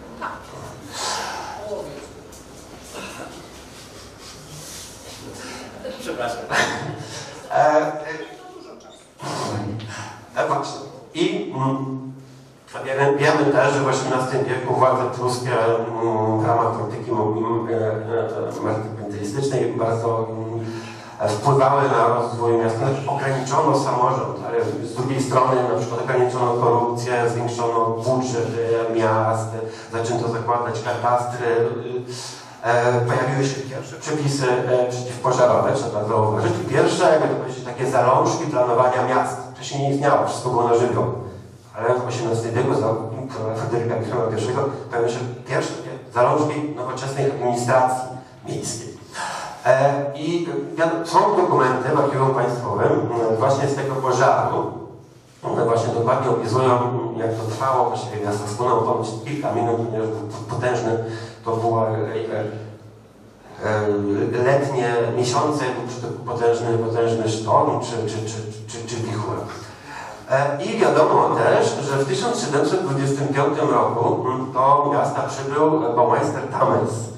E, To jest urzędnik pruski zatrudniony mm, w urzędzie budowlanym tureckim. Wiadomo, że on zaprojektował ryglowy kościół wtedy e, i budynek e, pastorówki i, i budynek mm, szkoły. I to ciekawe, naszym zdaniem, ale nie tylko, w tym czasie mm, według różnych tam takich em, informacji wiadomo, że miasto ponoć prawdopodobnie duże zostało zaprojektowane na nowo. Na przykład chociażby to, że mm, Bryggeman e, pisze o 12 wygodnych i szerokich ulicach, tak więc no, to jest ówczesny nazwa miast e, i na pewno widział mnóstwo, skoro to pisał przy Chaplinku, to znaczy, że miasto nie miało starego układu, tylko miało nowoczesny, już dla niego, tak, to, jest, to są lata 80. XVIII wieku. Poza tym układ przestrzenny, tak, są regularne ulice mocno i przede wszystkim, co jest ciekawe, mamy tutaj do czynienia z takim właściwie baroko- barokowym, naszym zdaniem, zaprojektowanym kościoła przy rynku. W średniowiecznych miastach nie znajdą Państwo kościoła przy rynku, tak? Takiego nie istnieje. E, I tu mamy kościół przy samym rynku. E, Czyli tu się tak powiela pewien taka kompozycja barokowych rezydencji. Czyli mamy kościół jako dom feudała najwyższego, czyli po pastorówkę i, i, i szkołę, czyli budynki, jakby to powiedzieć, sług Bożych, czyli sług tego, tego feudała. Czyli to pewne takie myślenie feudalne jeszcze XVIII-wieczne. E, Przed kościołem mamy okazały plac, który dzisiaj jest obsadzony szpalerami i do tego prowadziła do tego placu aleja. E, powiedzmy, że w miastach średniowiecznych nie było alei. Na przykład w Szczecinie pierwsza aleja tak naprawdę na tym przy Starym Stare pojawia się dopiero w XVIII wieku. Zgadza się? To jest y, parady plac, plac żołnierza i, i, i, i, ten- i wy- wyzwolenia. E, tak, więc to na pewno, y, zwłaszcza, że no, nie było nawet takich szerokich ulic. E, i, a jeszcze jedno. Wiadomo z tych dokumentów, że y, jak to powiedzieć, magazyn solny czy monopol solny pierwotnie przed e, 725 roku usytuowany był w ratuszu, tak? Czyli ratusz był dosyć dużym budynkiem, znaczy przynajmniej długim, bo wiadomo, że był tak, poza funkcjami, jak to powiedzieć, miejskimi, była tam mm, sala dla e, nabożeństw e, protestanckich, ponieważ katolicy zabronili protestantów korzystania z kościoła katolickiego, a jeszcze wtedy protestanckiego nie było. I był, co ciekawe, magazyn solny. I to wszystko spłonęło. I nowy magazyn solny wybudowano po stronie południowej. Tutaj zaznaczyłem e, królewski e, magazyn solny, on był tu, i jeszcze będą ciekawsze plany. I, I tutaj w tym układzie jeszcze jest jedna rzecz, która jest dla nas bardzo ciekawa, a mianowicie Gerichtstrasse. I tą literką P to jest tak zwany, jak oni tu się pojawiają często literą P, Pfandhof.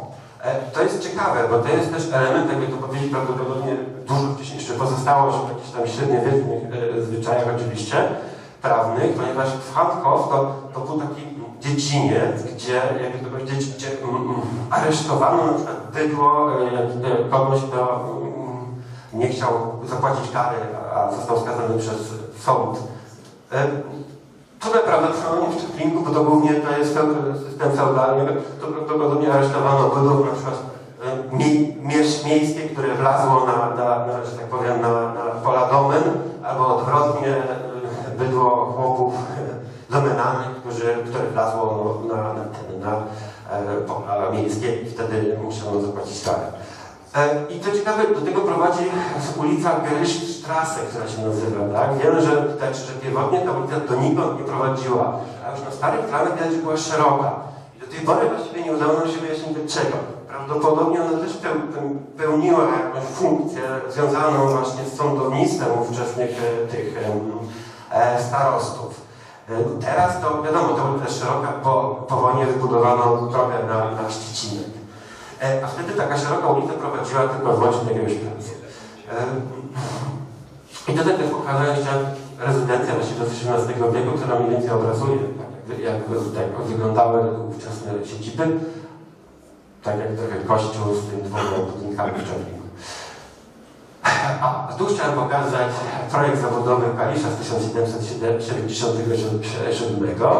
E, Tutaj mamy miasto właściwie oświeceniowe, tak? czyli jak to powiedzieć, kościół jest pośrodku dostępny dla wszystkich, e, bo u drugiej mamy szkołę, wiecie, mm, oświata i, i etyka, dwa filary społeczne. Czy- Czyli zmienia się, jak to powiedzieć, sposób rozumowania. Więc Tutaj chciałem pokazać pozostałości prawdopodobnie tej barokowej alei. To jest zdjęcie z około 1900 roku. Mamy tu jakieś drzewa, które są przy okolicy. E, One zostały wycięte około 1908 roku, e, kiedy zakładano instalację gazową e, w mieście. E, Ponieważ na późniejszych zdjęciach jeszcze przedwojennych to znika ta, ta aleja, więc ona na pewno jest czymś pozostałością po czymś. E, dobra, i tutaj chciałem pokazać, jak to będzie przedmieścia, to znaczy to czerwono to jest mm, to miasto przed 1725 roku, później po 1725 roku miasta. To też jest ciekawe, proszę zauważyć, że na przykład w miastach pomorskich nie mamy tak naprawdę przedmieść, takich jak są na przykład w Czaplinku czy innych miastach przygranicznych. To też jest dosyć ewenement, ponieważ mm, według mnie przynajmniej E, To są, jak to powiedzieć, że przy miastach przygranicznych, dlatego tak się rozwijają te przedmieścia, ponieważ to po prostu często łoki w XVIII wieku e, to była jedyna możliwość, musieli gdzieś u- czasami uciekali po prostu i, i żeby unikać kary za zbiegostwo, to co najłatwiejsze było uciec za granicę. Dlatego, jakby to powiedzieć, przy granicznych miastach e, się rozwijały e, mm, przedmieścia po prostu. E, To właśnie można powiedzieć, że to są takie e, osady uchodźców ówczesnych. E, Poza tym często tam się y, albo też w, w, w, w XVIII Rzeczypospolitej też mm, prześladowano stantów, to też mogli uciekać. Poza tym jeszcze trzeba pamiętać, że do XIX wieku, żeby zostać obywatelem miasta, to trzeba było dysponować Bürgerbriefem. Nie było tak na zasadzie, że ktoś sobie przyjechał, zostawał obywatelem miasta. Nie. Jeśli nie posiadał tego Bürgerbriefu, to najwyżej mógł się osiedlić na przedmieściach i zajmować najniższe warstwy społeczne. Tutaj jest zaznaczona gra- granica XVIII-wiecznego miasta. Tutaj mamy mapę z około 1780 roku. Jeszcze pokazuje jezioro sprzed osuszenia, e, bo wiadomo, że w, latach 70. e, ponoć o 2,5 metra miano obniżyć e, poziom wód jeziora Trzackiego, co na pewno znacznie. Tutaj jest, mamy fajną mapę, dosyć wczesną, z, z 40 roku, pokazującą mm, zabudowę po stronie północnej. No niestety nie udało mi się znaleźć innej, innych części miasta. Tutaj mamy dokładnie pokazany zlokalizowany wiatrak. E, o, to przedmieście wschodnie, to co jest najstarsze, to jeszcze później, później powiem. I tutaj już wiadomo, że mieliśmy, już zaznaczone cmentarze. Te, te cmentarze nie mogły powstać wcześniej niż w 1000... e, Aha, zapomniałem o czymś, to, to, jak na początku XIX wieku, to mamy przedmieście wschodnie. E, i Wiadomo, że w tym dokumencie z 1725 roku mowa jest, że spłonęło przedmieście, e, jakieś przedmieście, gdzie były same stodoły. E, Ono oczywiście zostało odbudowane. E, Z innej literatury, z późniejszego okresu wiadomo, że e, na tym przedmieściu m, według autorów były jakieś stare stodoły. E, One spłonęły w 1900 roku. Ich miejscu, to jest ciekawy kataster, w 1905 roku w miejscu tych spłoniętych stodół powstały te budynki, które zachowały się do dzisiaj. Eee, Po wojnie to przedmieście zostało mocno e, e, znaczy zniekształcone poprzez budowanie tej drogi. Tak więc e, e, to też ciekawe, bo obrazuje ta mapa jeszcze zabudowę pierwotną przedmieść. One były nieregularne, e, chaotycznie zabudowywane i w XIX wieku, w drugiej połowie zaczynały być przeprowadzane duże regulacje. E, To jest po stronie południowej przy Rzeźnicy Wołęckiej. Tu też mamy jeszcze starą zabudowę, mm, taką luźną. Ta droga została częściowo też już e, tak. I to jest ciekawe zdjęcie, ponieważ też pokazuje, jakby to powiedzieć, to jest ulica Złocieniecka. I tutaj mamy e, stare przedmieście. Też ono jest takie nieregularne, a tutaj mamy już ewidentnie zabudowę, która powstała w miejscu pierwotnej fosy, panu w drugiej połowie XIX wieku. E, linia e, e, równa jest zabudowy, charakterystyczna architektura. Mm. A, tutaj jest jeszcze to, um, chciałem wrócić do te, tego zespołu magazynów solowych. E, tutaj właśnie na tej mapie wyraźnie widzimy jeszcze, jak ten zespół wygląda. No, składa się z dwóch budynków, przeważnie mówi się o jednym w literaturze. I co ciekawe jest dwa, tak? bo tutaj mamy przedmieście, według e, starych e, fotografii wygląda, że zostały stare jakieś ryglowe domy. Według mnie prawdopodobnie to były domy ufundowane przez władze państwowe dla ich jakichś rzemieślników, prawdopodobnie tkaczy. E, W wielu miastach, jakby to powiedzieć, w tym okresie czasu państwo funduje, jakby to powiedzieć, tego typu rzeczy. Często w Gryficach, Rowie. To wyglądało pierwotnie, tu na zielono przed budynkami magazynowymi, magazynów sądnych tego, ponieważ to zostało w latach 80. XIX wieku zmienione. Już kończę. Aha. E, Dobra, to ja może XIX wiek odpuszczę. A chciałem jeszcze pokazać coś innego, mianowicie co do wracając do tego barokowego miasta, bo zapomniałem o tym powiedzieć.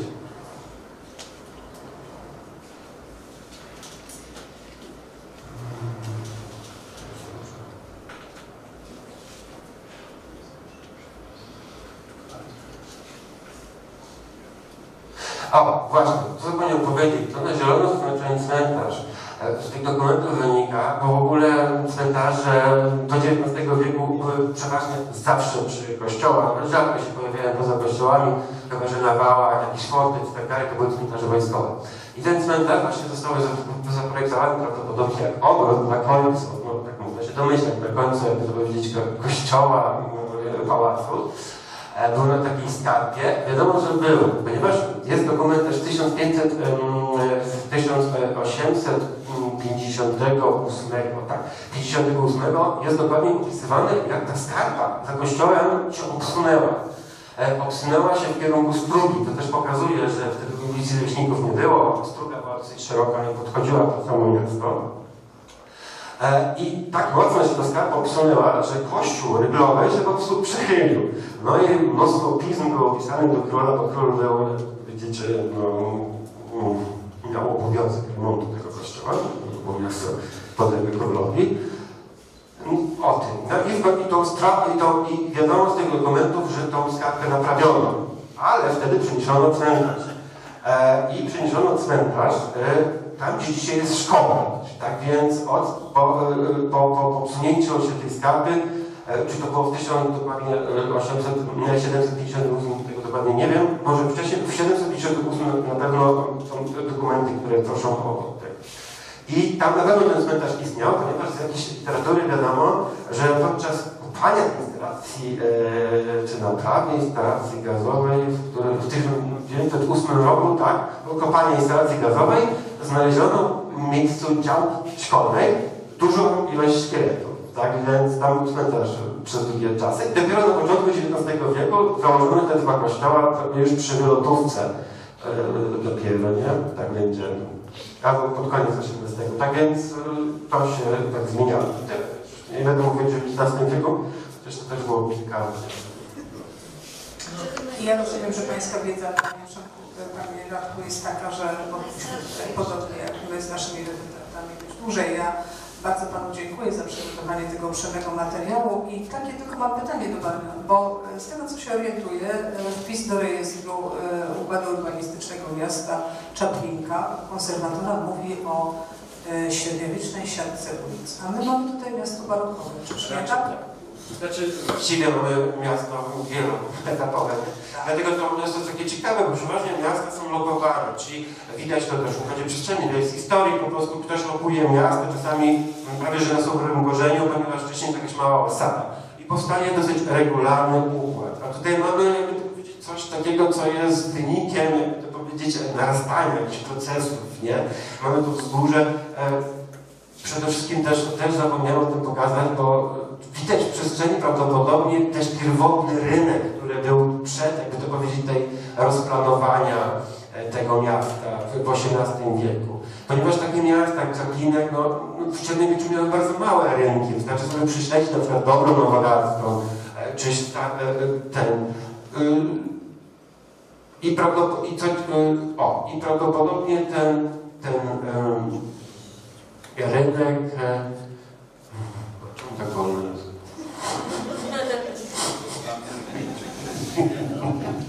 No i sama wywołałam temat. O, e, I tu chciałem pokazać, ale to, e, wiecie Państwo, to jest, to jest nasza sugestia, tak? To nie musiało wcale tak być. E, to jest dziwne, ten kwartał, tak? On jest w ogóle dołożony do tego kościoła, no, ni w pięć, ni w dziewięć, tak? Kościół z tej strony w ogóle niedostępny, to jest taka dróżka prowadząca do ratusza. E, czyli, widzą Państwo, bo w średniowieczu przeważnie ratusze były wolno stojące. E, e, ratusze, jak to powiedzieć, w Pierzei, to są, ci pojawiają się dopiero w XVIII, od okresu nowożytnego, XVII, XVIII. E, W XIX wieku wręcz nawet władze pruskie nakazują przygłoszenie ratuszy do Pierzei, co wiemy z różnych miast, ale mieszczanie byli bardzo niechętni, e, tak więc to był przymód. E, ale tak, i tu, zobaczymy sobie, na przykład weźmiemy ten plac, tak? On jest nieregularny, bo prawdopodobnie to miasto, wiadomo, no, to się tak nieregularnie rozwijało, to tu mieliśmy pierwotny rynek i wtedy ratusz jest prawie że po środku, przy kościele, trochę tak jak w Płotach. E, w Płotach też jest dużo bardziej skomplikowana historia. I to, to tak tyle chciałem pokazać. A później, gdy miasto spłonęło, to mm, przybyli zawodowi ur- urbaniści pruscy i po prostu wykorzystali i wytyczyli. Panie Radku, staje Panu przed oczyma, bo faktycznie e, następny. Dziękuję bardzo. Dziękuję bardzo. Wystąpienie w Urzędzie Miasta rzeczywiście też było bardzo wyczerpujące w sensie wiedzy oczywiście. I poproszę teraz o wystąpienie pana Macieja Słowickiego, głównego specjalisty Narodowego Instytutu Dziedzictwa w Szczecinie. Pan Maciej jest e, historykiem sztuki, specjalistą do spraw zabytków ja rozumiem, panie e, kierowniku, że nieruchomych, nieruchomych, bo mam tak jest. Ze szczególnym uwzględnieniem zabytków sakralnych i architektury doby baroku. E, Dodatnie pan Słomiński jest prezesem Stowarzyszenia na Rzecz Cmentarza Centralnego, autorem bardzo wielu licznych publikacji i opracowań, w tym również dotyczącej willi Lenca w Szczecinie, Szczecin barokowy, architektura 1630-780. Także oddaję panu głos i słucham. Dzień dobry Państwu. E, Zaczynam od najbardziej chyba tajemniczej budowli e, Czaplinka, mianowicie tak zwanego Małego Kościółka, czyli Kościoła Świętej Trójcy. E, Proszę Państwa, już od samego początku zaczyna się pewne zamieszanie. Wprowadza je na przykład e, ksiądz Nowacki, który e, uważa, że Kościół ten powstał w XIII wieku, co no, na pewno nie jest prawdą. Otóż e, w 1291 roku została zawarta umowa pomiędzy preceptorem templariuszy Bernardem von Eberstein i biskupem kamieńskim Janem dotycząca dochodów z dziesięciny. E, Ksiądz Nowacki uważa e, tę umowę za początek istnienia parafii, e, z czym no, trudno się zgodzić. W tym czasie prawdopodobnie na miejscu obecnego kościoła istniała, e, istniał jakiś zameczek templariuszy. E, był to teren zapewne umocniony, ale e, nic poza tym o tym e, nie wiemy. E, Pierwsze e, takie pewne informacje o kościele i właściwie parafii w Czaplinku pojawiały się w roku 1499. E, Mianowicie nakazano wtedy stały pobyt e, plebanowi Janowi e, w Czaplinku. E, Wówczas miasto to, czy właściwie osada należała do diecezji poznańskiej. I myślę, że w tym czasie, prawdopodobnie e, na początku e, XVI wieku powstał e, kościół, e, który nie był budowlą imponującą, e, co tu już było pokazane, e, no jest jakby e, czymś zupełnie osobnym wobec miasta, które zapewne ukształtowało się e, później. Także e, jego skala nie jest imponująca, e, ale y, po przeprowadzonych y, badaniach archeologicznych z początku lat 60. wiemy, że kościół ten miał pierwotnie wieżę, a więc i tak był budowlą y, właściwie dominującą nad niewielką osadą, którą wówczas był Czaplinek. E, Co ciekawe, pod fundamentami wieży znaleziono pochówki z okresu średniowiecza, a więc e, wieża ta zapewne była y, elementem wtórnym wobec kościoła. E, Trudno jest określić właściwie stylistycznie budowlę, z którą widzą. Jest to budowla kamienna e, z pewnymi elementami barokowymi, e, ale e, proszę bardzo, tutaj widzimy e, rzut tego kościoła, e, wysoce nietypowy, mianowicie zakończony od wschodu e, takim właściwie zamknięciem e, chóru e, z zaokrąglonymi narożnikami. Najbliższą analogią, którą właśnie kolega znalazł, to jest kościół Żarnowie e, w powiecie kamieńskim. Jest to wiejski, był to wiejski kościół, który już nie istnieje, więc trudno go analizować, ale no, uderzające jest tutaj podobieństwo. A kościół ten powstał prawdopodobnie również na początku XVII wieku. E, Mało tego, jeśli analiz- analizujemy e, detale tegoż naszego kościoła Świętej Trójcy, widzimy na przykład portal, który swoimi formami nawiązuje do e, form romańskich. Co było charakterem architektury bardzo późno gotyckiej, czyli tej XVI-wiecznej, a nawet z początku XVII wieku. I na przykład można podobne tendencje obserwować na Mazowszu, gdzie jest taki kościół Brokowie, który ewidentnie nawiązuje do e, romanizmu. E, No ale już jak e, stwierdziliśmy, e, dzieje tego kościoła mm, były mm, bardzo dramatyczne. 10 czerwca 1725 roku wy- wybuchł pożar, który zniszczył cały e, Czaplinek, również e, kościół.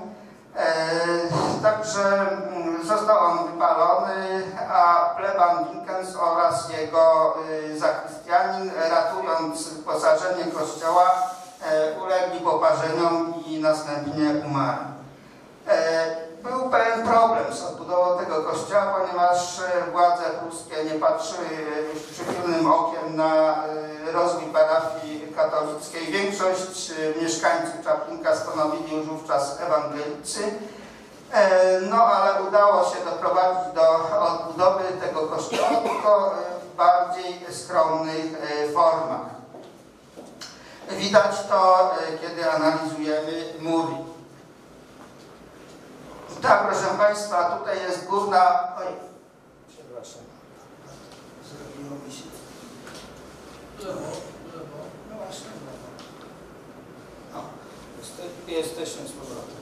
E, Widać to, kiedy analizujemy mury, a zwłaszcza ich górną część, e, ewidentnie tutaj był jakiś otwór e, okrągły i widać, że dawna partia murów e, uległa zniszczeniu, została zastąpiona przez nowy mur, e, a stare okna musiano zamurować, ponieważ ewidentnie ściana wschodnia się obsuwała, co widać właśnie e, na przykładzie tych podpór, które wówczas szkarty musiano zastosować. Proszę Państwa, ale udało się, e, niezależnie od tego, że e, były to bardzo skromne formy na zewnątrz, udało się e, wyfundować bardzo ciekawe wyposażenie tegoż kościoła, wyposażenie barokowe. Tu Państwo widzą słynny ołtarz, który powstał w 1776 roku, a więc jest dziełem późnego baroku. E, Ołtarz e, wzorowany na konfesji prawdopodobnie e, z katedry gnieźnieńskiej. Wiadomo, jest to Wielkopolska. No, on jest jakby mm, zbyt wielki w stosunku do skali całego wnętrza. Wnętrze to zostało przykryte stropem z fasetą i ozdobione y, malowidłami y, prawdopodobnie jeszcze barokowymi. Jak widzimy po zachodniej stronie e, również znalazła się embora y, muzyczna. O, tak wygląda ołtarz, natomiast ambona jest późniejsza, pochodzi z 1846 roku. Tak, tutaj detal. Malowidła się pojawiły na, y, zarówno na stropie, jak i na ścianach kościoła. Tutaj mają Państwo e, przykład y, malowideł e, barokowych. E, Chrystus ze świętym Tomaszem. Moim zdaniem to jest, a nie powrót na ma- marnotrawnego, jak się nieraz pisze. Natomiast na suficie, na e, stropie pojawiły się malowidła już XIX-wieczne, z drugiej połowy XIX wieku i jak Państwo widzą jest to przedstawienie Trójcy Świętej według Rubensa. Ale proszę Państwa, y, jak mówiłem, Kościół y, w okresie baroku stracił swoje znaczenie jako dominanty mi- miasta, dominanty wysokościowej, natomiast jego miejsce jakby w hierarchii ważności budowy miasta zajął Kościół ewangelicki. I e, tu historia też jest e, dosyć e, ciekawa, mianowicie w okresie baroku, już w 1725 roku po spaleniu miasta, król pruski przyznał 500 talarów na budowę nowego kościoła. Do tego czasu e, odprawiano nabożeństwa w ratuszu, E, Gdzie on stał, tego właściwie nie wiemy. E, Jest dokument z 1706 roku, który mówi o pozwoleniu króla pruskiego Fryderyka Wilhelma I na odprawianie nabożeństw w ratuszu. E, Po spaleniu tegoż ratusza postanowiono zbudować nowy kościół, to w najbardziej eksponowanym miejscu. To już tutaj kolega dokładnie właśnie e, e, przekazał. Także zajął on miejsce na osi rynku. Projektantem tegoż kościoła był nie kto inny jak największy ówczesny architekt pruski Karl Friedrich Schminkel, e, który sporządził dwa e, warianty projektu w latach chyba 1726-29. E, Jeden z tych wariantów to był projekt neogotycki. 800, tak, tak, tak, tak. 800 oczywiście.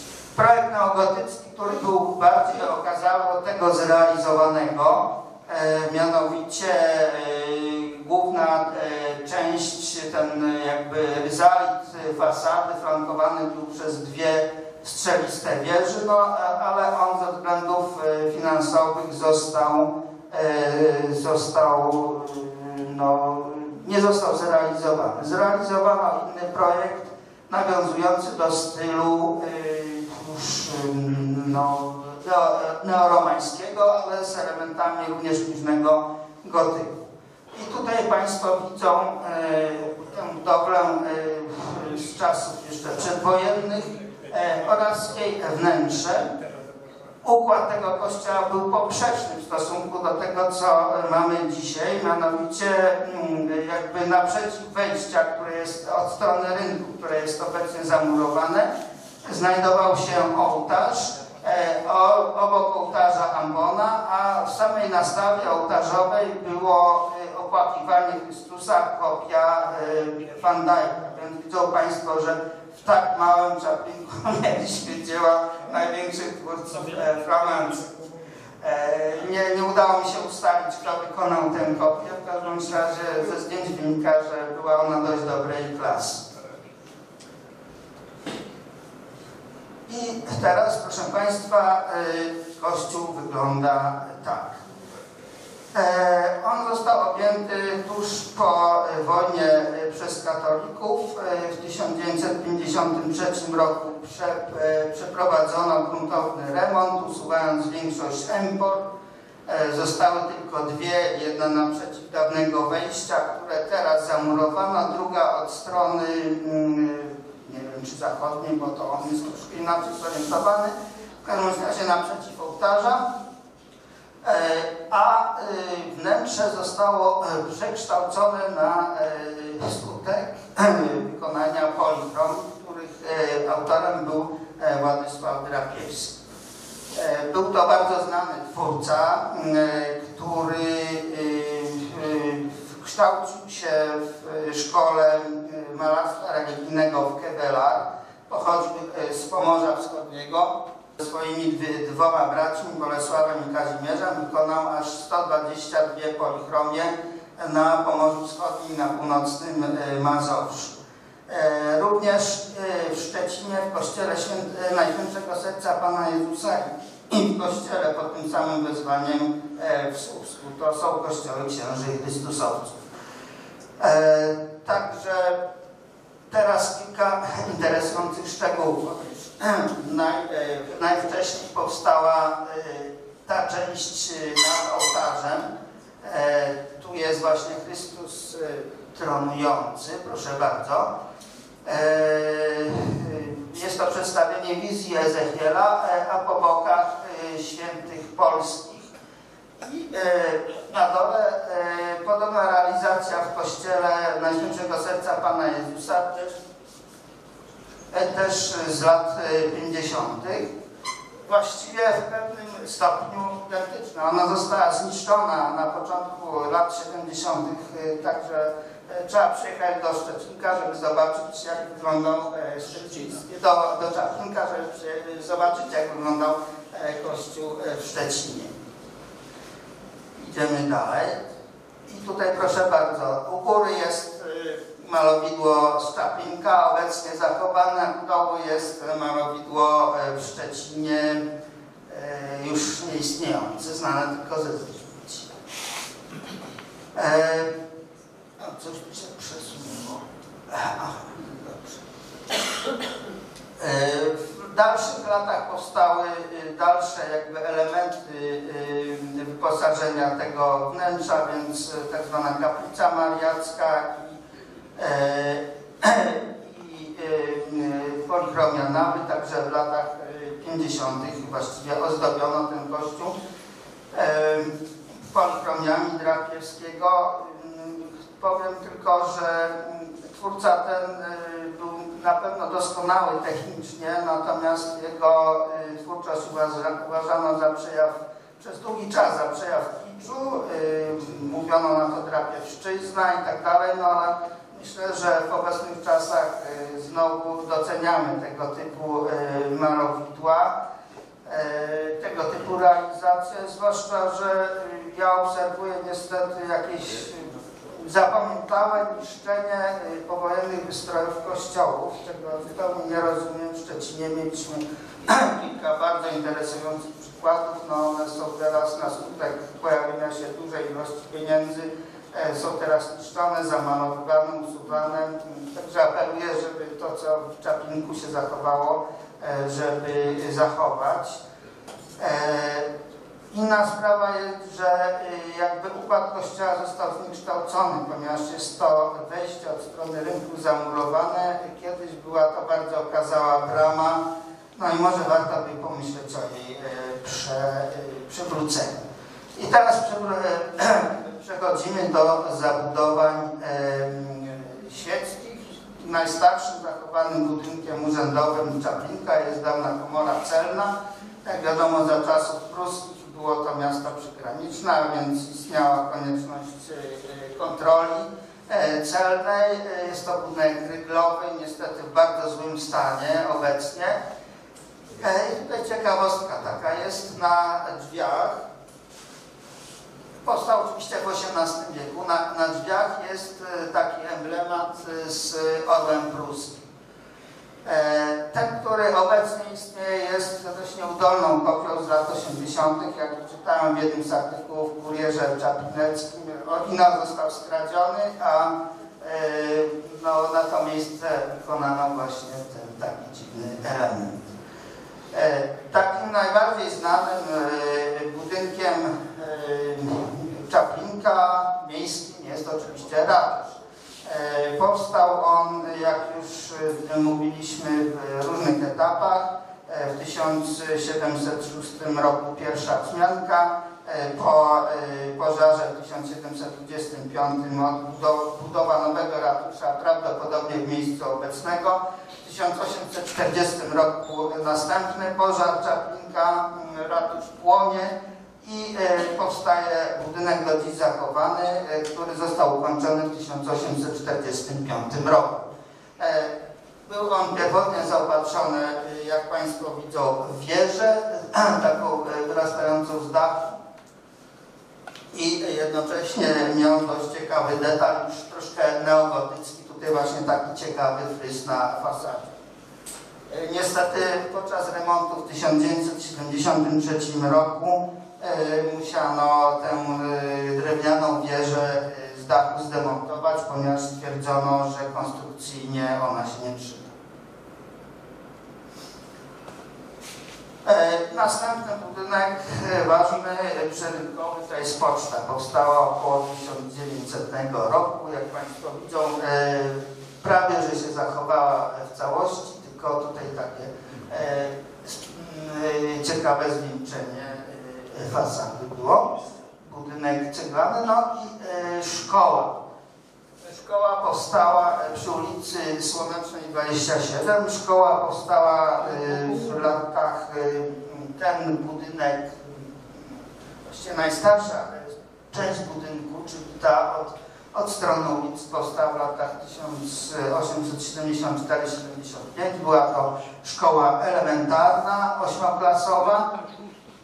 Natomiast została ona rozbudowana 1925 roku poprzez dodanie właśnie nowego skrzydła, e, które, e, dzięki któremu e, mogła się tu pomieścić niższa i wyższa szkoła średnia. I następny budynek dawna, dawny szpital przy ulicy Wałeckiej e, powstał w 1895 roku. E, został ufundowany przez e, przemysłowca e, czaplineckiego Szulca. Prowadzony był przez diakoniskich. Było tu mieściło się tu 14 łóżek, ale po wojnie zmieniono jego funkcję i został on, jest on użytkowany jako szkoła do dnia dzisiejszego. I teraz, proszę Państwa, dworzec. Dworzec e, kolejowy, bardzo ważne miejsce dla Czaplinka. E, Niestety względy topograficzne przesądziły, że nie mógł się on mieścić w centrum miasta, czy blisko centrum miasta. E, Został zbudowany jakieś 3 km od, od, od właściwego miasta. Powstał w związku z budową linii kolejowej pierwszym etapie, to był chyba rok 1877 grudzień, em, e, była linia Zdrawska do Szczecinka, a później dalszy e, Zdrawska do, do Czaplinka, a później e, w następnym roku z Czaplinka do, e, do Szczecinka. Mm, Także wówczas powstała główna część tego budynku dworcowego, prawdopodobnie ta. Natomiast w 1908 roku została e, zbudowana boczna linia kolejowa do Jastrowia i e, wtedy e, dobudowano część tego gmachu, a jednocześnie powstał nowy hol kasowy. Tutaj jest bardzo są ciekawe, interesujące elementy właśnie wyposażenia, taki stolik. E, Także ja widzę, że budynek ten jest po remoncie, jest w dobrym stanie, no i e, dobrze by było, żeby te elementy zostały zachowane, e, bo są one, takim no, atrakcyjnym akcentem dla każdego wnętrza, czy to mieszkalnego, czy to jakiegoś usługowego. Niestety wieża ciśnień przy dworcu kolejowym znajduje się w obecnie w bardzo złym stanie. Została zbudowana w 1906 roku. Wiązało się to e, prawdopodobnie już z planami budowy tego rozgałęzienia do, e, do Jastrowia. E, No, w latach 80. została wycofana z użytku, no niestety sypie się ta górna część wokół zbiornika. Inne budynki miasta, proszę Państwa, hotel Commercial Hop przy Rynku 1 powstał w 1908 roku. Jest budynkiem, e, można powiedzieć, eklektycznym, ale już o pewnych cechach e, secesyjnych, zwłaszcza jak spojrzymy na stolarkę. E, Najbardziej okazały e, gmach przy rynku. Jego właścicielem w 1800, e, 1933 roku był niejaki Eduard Gersz, e, który mm, miał tutaj restaurację i kawiarnię na parterze.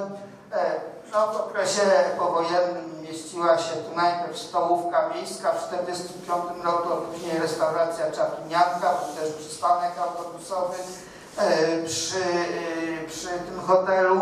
E, oczywiście był to hotel miejski, tak się wówczas nazywał. Funkcjonował gdzieś tam do drugiej połowy lat 70.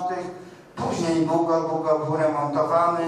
E, Mieściła się tu na parterze Izba Pamięci. E, Niestety, niestety ona znalazła swoją, e, swoje miejsce no, dość daleko od centrum miasta, e, przez co no, e, stała się elementem trochę mało zauważalnym w mieście, a szkoda, bo było to ciekawe miejsce. Jeszcze w międzyczasie była biblioteka, także budynek ten pełnił e, różne funkcje, obecnie pełni funkcję administracyjną po e, ostatnim remoncie wykonanym w latach 2020-2021. A tu Państwo widzą e, jego stan. przesunęło. E, Jego stan e, obecny, a tu jest a tu jest e, na dole stolarka e, okien, która niestety została usunięta, zastąpiono ją nową kopią. No, może szkoda, że tak się stało, natomiast oryginalna stolarka drzwi się zachowała, typowo już secesyjna. E, Tak wyglądają wnętrza tego budynku. Mają Państwo restauracji wnętrznego spokoju. Hoteli. E, A tutaj jest e, inny hotel. Wiadomo z literatury, że hotel Deutsches Haus mieścił się przy ulicy Czap, nie, przy ulicy e, mm, Wałęckiej. Na rogu Czarnkowskiego, e, nie, przy ulicy Wałęckiej, to, e, to wiemy, ale proszę Państwa, e, podaje się inny adres. Natomiast my stwierdziliśmy, że mm, o- o- opisom, które, które mamy, odpowiada bardziej budynek przy na rogu ulicy Czarnkowskiego. Jest on dość obszerny, a z tyłu znajduje się jakby boczne skrzydło, które, m, w którym mieściła się sala zebrań. Pierwotnie ten hotel Deutsches Haus e, mieścił się przy ulicy obecnej Sikorskiego na Górnej. E, Dla, na początku czy w pierwszej połowie XIX wieku został rozebrany, e, a jego siedzibę przeniesiono na Wałęsy. E, I teraz e, dawna kasa miejska i e, sąd e, okręgowy. E, Jest to budynek, e, który powstał mm, w 1934 roku. E, Jest już elementem, elementem architektury modernistycznej. Obecnie jest w dobrym stanie. Niestety e, tutaj wprowadzono takie okrągłe otwory okienne od strony od strony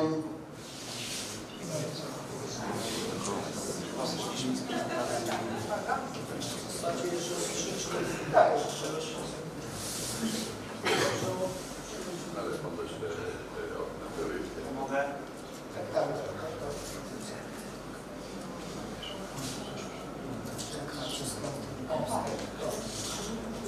E, Także jest to przykład modernizmu obok e, innego budynku, niestety już dziś e, zupełnie zniszczonego, mianowicie e, była to dawna drukarnia e, Tempelburger Zeitung, bardzo ciekawy budynek, który jeszcze jak Państwo widzą na dole istniał w latach e, 60. E, po czym został zdewaloryzowany, przebudowany, stolarkę okienną starą usunięto i właśnie stracił swoje wartości, a potem został całkowicie e, przebudowany. I jeszcze mm, powiedzmy na koniec, że w Czaplinku e, znajdowało się też wiele budowli e, gospodarczych, przemysłowych. Tu mamy mm, browar niejakiego Gersa przy ulicy, przy ulicy Drachińskiej 53a. Wiadomo, że browar istniał już tutaj w 1865 roku. E, W okresie międzywojennym należał do właśnie rzeczonego Gersa, e, ale już chyba przed wojną zrezygnowano z produkcji piwa w Czapninku i była tylko rozlewnia pod mineralny, która w okresie powojennym była prowadzona przez pana Nogaja. E, Dla przypomnienia jeszcze kilka przykładów. E, ma- Mają Państwo budynek e, gospodarczy przy ulicy Studziennej 2. Pochodzi on z 1841 roku, o czym świadczy data w przejeździe bramnym. Był tu warsztat prawdopodobnie tkacki, a później stolarski. No i kilka innych budynków, między innymi mleczarnia stodoła z e, ostatniej ćwierci e, XIX wieku. Także jak Państwo widzą, całe bogactwo architektury e, w Czaplinku można znaleźć. E, Tutaj e, ze względu na brak czasu pominęliśmy architekturę e, mieszkalną, zabudowę mieszkalną, która też jest bardzo e, ciekawa, no ale myślę, że e, to może w naszych publikacjach się jeszcze pojawi. Dziękuję Państwu.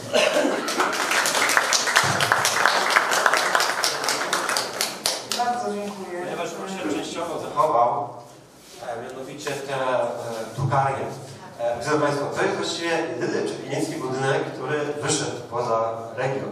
Ponieważ to ciekawe jest, że on trafił, tak powiedział, powiedzieć, e, na nazistowską listę tak zwanych budynków zepsutych, niemoralnych, ponieważ to jest do bardzo wysokiej klasy, to będzie budynek modernistyczny. E, Prawdopodobnie, kto wie, tak czasami się zastanawiam, czy czasami przez tego małego Glubiusa nawet nie został zaprojektowany, bo on powstał tak, w 30... Takiego budynku w tym czasie Państwo naprawdę nie znajdą. W tych formach. To jest w takim mieście, ale w ogóle nawet co najwyżej w Szczecinie, tak? I też za dużo nie było budynków o takich formach, takich totalnie, powiedzieć, zrywających z tradycją, z symetrią. E, y, to jest właściwie czysty funkcjonalizm, tak? E, a musimy uwzględnić, że w tym czasie jeszcze ludzie byli konserwatystami, przyzwyczajeni do takich, takich dlatego tego typu budowle przez nazistów były uważane za zepsute, za niemoralne, za nośniki socjalizmu i wszystkiego co najgorsze. Gerardzie, bardzo się cieszę. Dobra, i, i ten budynek został reprodukowany w takiej ogólnoniemieckiej e, e, e, publikacji dotyczącej właśnie architektury. Jako przykład zepsutej Dobra, już kończę. Dziękujemy bardzo. Dodatkowo wspólnie tutaj wykonanie pana e, Walkiewicza. Proszę Państwa, teraz się Państwo zgodnie z zasadą, że jak prelegenci mówią kończę, powinniście się Państwo ożywić, bo to już jest ostatni element e, w dzisiejszej konferencji, e, którą, którym tym elementem zajmie się Biuro Dokumentacji Zabytków a m, właściwie nie tyle pomagać mi będzie, bo właściwie kiedy kolega informatyk Mateusz Oleksiak usłyszał, jak ja mówię ładnie, płynnie i w ogóle pięknie o cyfryzacji fotogrammetrii, powiedział, że może ja jednak z tobą pojadę, bo jeżeli padnie pytanie fachowe z sali, żeby nie było wstydu. E, Więc e, dzisiaj ja poproszę, żeby zechciał e, zacząć i mm, powiedzieć Państwu, czym my jako biuro się zajmujemy i co to jest cyfryzacja, bo jak powiedziała bardzo ładnie na okrągło. E, I my przejdziemy później poprzez mm, Oskaningu. Oczywiście e, zechciałem powiedzieć pokrótce i o fotogrametrii. Musimy się trochę pochwalić, więc powiemy o tych obiektach zeskanowanych laserowo. Zaczęliśmy i bardzo podbimy. Ale teraz bardzo Cię proszę.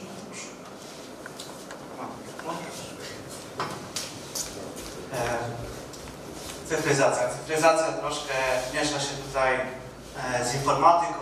Cyfryzacja e, ma na celu, tak na, na potrzeby tej prezentacji można by mówić, że cyfryzacja to jest przekształcenie e, takiej rzeczywistości materialnej do formy cyfrowej e, i w zasadzie e, można powiedzieć e, o takim podziale cyfryzacji e, na fotografię cyfrową. E, no, to jest od, odtworzenie tej rzeczywistości, którą widzimy dwuwymiarowej rzeczywistości cyfrowej.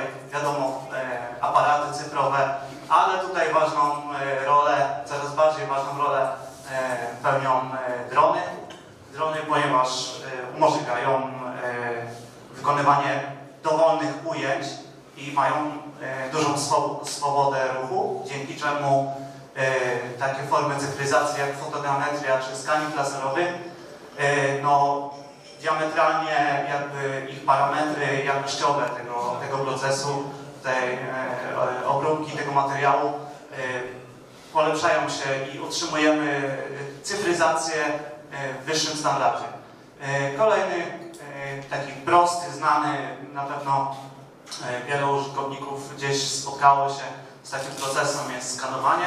No i skanowanie to jest, e, to jest e, em, zapisywanie dokumentów dwuwymiarowych do postaci cyfrowej, czy to będzie zdjęcie właśnie także dwuwymiarowe, czy to będzie tekst jako plik tekstowy, prosta rzecz. Kolejny i na czym będziemy tu się skupiać to jest fotogrammetria. Fotogrammetria, tu się sprawa już komplikuje, bo tutaj są e, dwa, jakby to powiedzieć, etapy. Przechwytujemy tą rzeczywistość trójwymiarową, naturalną do zdjęcia. I te zdjęcie e, poddajemy obróbce za pomocą algorytmów i metod przetwarzania obrazów i z tego zdjęcia staramy się odtworzyć e, tą przestrzeń trój- trójwymiarową. E, Jakie to ma, czemu tak robimy? Ponieważ w łatwy sposób za pomocą prostego urządzenia, jakim jest aparat, możemy scyfryzować obiekt i e, w miarę, oddać go w miarę, powiedzmy w miarę rzeczywisty sposób. E, Wygląda ten obiekt e, realnie, nie jest to jakiś e, e, model e, z jakiegoś prostego środowiska e, modelowania, tylko jest to e, e, model o dokładności e, fotorealistycznej. Będzie później przykład. E, Kolejny e, proces, najbardziej jakby tutaj wymagający od strony finansowej, czy powiedzmy dokładności. Jest to skaning trójwymiarowy, właśnie tutaj koleżanka powiedziała o lidarach. Lidary właśnie tutaj mają zastosowanie, to są urządzenia, które za pomocą promienia lasera zbierają informacje o, o przestrzeni, zapisują to y, do formy cyfrowej i ta przestrzeń też już jest y, trójwymiarowa praktycznie od razu y, po, po wykonaniu jakby skaningu. Że jak Państwo słyszą, to jest specjalista i też fanatyk trochę, także ja tutaj będę sterowała dostępem głosu dla mnie także. Proszę bardzo. To akurat przykłady właśnie skanera laserowego, lidara, e, no urządzenia, jak powiedziałem, to są urządzenia powiedzmy wysokiej klasy, dokładne, ale też drogie. No, przykład lasera e, od 100 do 300 tysięcy złotych, e, nie każdy może sobie pozwolić. Dokumentacja wykonana za pomocą takiego sprzętu też wtedy jest droga, naturalnie. Ale my, my aspirujemy. Aspirujemy, tak. Jeżeli będziemy posiadać, będziemy się bardzo na pewno cieszyć. E, Skaner laserowy można tutaj e, powiedzieć, e, no w zasadzie jego główna część jest tutaj. To jest ten, to urządzenie, które w zasadzie kosztuje to te, te, ten, te największe środki. Reszta to jest, no to jest statyw. Skaner laserowy posiada zwierciadło, którym jakby kieruje i dzięki temu jakby automatycznie kontroluje, gdzie znajduje się e, laser. Stąd jest to praktycznie samodzielne urządzenie, które należy e, tylko uruchomić. Pomiar jest automatyczny. E, Dalej jest przykład e, skanera ręcznego. Jak Taka parownica kosztuje około 100 tysięcy złotych, więc to też takie e, urządzenie, które no, mam nadzieję, że może w przyszłym roku uda nam się kupić dla zabytków ruchomych mniejszej wielkości, które można zrobić. Dobrze mówię? Tak, to jest y, taki skaner może mieć zasięg od pół metra do 350 metrów, to są takie dane powiedzmy przykładowe. No i w zasadzie duże obiekty można tym skanować. To jest skaner właśnie do architektury, do, do, do budynków. To jest skaner do rzeźby właśnie e, jakichś małych obiektów. On ma zasięg no powiedzmy od 20 do 30 centymetrów. E, niektóre mają do metra, ale ma zdecydowanie dużą zdecy- zdecydowanie dużo większą dokładność, bo to jest setki milimetrów, e, ten plus minus tam 3,5 mm na 20 metrach. Wiesz, skrócę Ci trochę, dlatego też zasady wykonywania skaningu puścimy, bo teraz ja się będę wypowiadał. Proszę Państwa, od 2018 roku rozpoczęliśmy pracę e, ludowej, chcę wybrać nie cyfrowej dotacji alkoządowej i wykonaliśmy, zleciliśmy Fundacji Realizacji Narodowego Kulturowego z Gorzowa, która jest naszym stałym partnerem przy tych projektach. Chałupa w Krupach z 1717 roku I jest to jej cyfrowy model przestrzenny, tak zwana chmura punktów, którą mam u siebie w zasobach i która jest dokumentacją tego obiektu. Nawet kiedy przestanie on nie istnieć, będzie można go odtworzyć. Stąd też i tytuł naszego wystąpienia, który mówi o cywilizacji e, dziedzictwa kulturowego szansą jego zachowania. Mamy to w zasobach, mamy to schowane, mamy to udostępniane, możemy na tym e, pracować. Więc e, tutaj też widać, jak wygląda, jaka jest jego skala, jaki jest ogrom, e, jaki jest to unikat. E, W tym roku prowadzone są tam prace e, inwentaryzacyjne jako e, prace e, semestralne studentów z Uniwersytetu Mikołaja Kopernika. Ja mam tylko zawsze takie pytanie, dlaczego przy różnych dotacjach do tego typu obiektów nie trafiają te środki e, finansowe. Cyfrowy model przestrzenny to właśnie nasz kolejny największy e, sukces dotychczasowy, to jest e, pocysterski kościół e, w Kwięcinie, e, który właściwie, w którym zrobiliśmy wszystko, prawda? Tak, jest to praktycznie kompleksowa dokumentacja od, e, jak tutaj widać, chmury punktów, poprzez e, wideo, zdjęcia, reprodukcje zdjęć, panoramy, strona internetowa, tak, adres jest e, tutaj widoczny i Więcino, i Więcino.pl. E, Właśnie, aplikacje na Google, w zasadzie cały komplet dokumentacji o różnym zastosowaniu i różnym e, poziomie Tak, na tej skomplikowania. aplikacji podbiliśmy wszystko łącznie z e, kartami e, architektury, budownictwa, tymi, które są w zasobach konserwatora. Udało nam się z tych dotacji wyposażyć pokój wirtualny, a więc mamy sprzęt, rozpoczęliśmy właściwie taką nową epokę w dokumentacji zabytku. I Właśnie trochę usiłujemy tutaj równać się z Narodowym Instytutem Dziedzictwa. Oni nas właściwie zainspirowali. No i wiem, że mówię to niechętnie. Nam się bardzo dobrze współpracuje, ponieważ partneruje nam e, Narodowy Instytut Dziedzictwa zarówno w cyfryzacji, centrum kompetencji, proszę Państwa, my nie możemy powiedzieć, że nam się źle współpracuje, bo nam projektów nie rozliczą, więc to jest oczywiste. E, W zeszłym roku mieliśmy dwa duże działania, też projekty ministerialne z kultury ludowej, e, gdzie powstał wirtualny skansen przy drodze od Starego Krakowa do Nowego Wadna i przede wszystkim cyfrowy, e, scyfryzowaliśmy, nie, nie, zostań scyfryzowaliśmy e, kolegiatę w Stargardzie, pomnik historii. Obiekt potężny, ogromny, z wieloma problemami i kłopotami w trakcie remontów projektów. I to, co widzimy tutaj, to są wygenerowane już też materiały dzięki może punktów, gdzie bo pomiarowe e, elementy są tam niezwykle dokładne. Proszę mi powiedz, jak dokładnie jest. No tak, no lasery potrafią powiedzmy na 25 metrach mieć dokładność w pomiarze odległości do milimetra.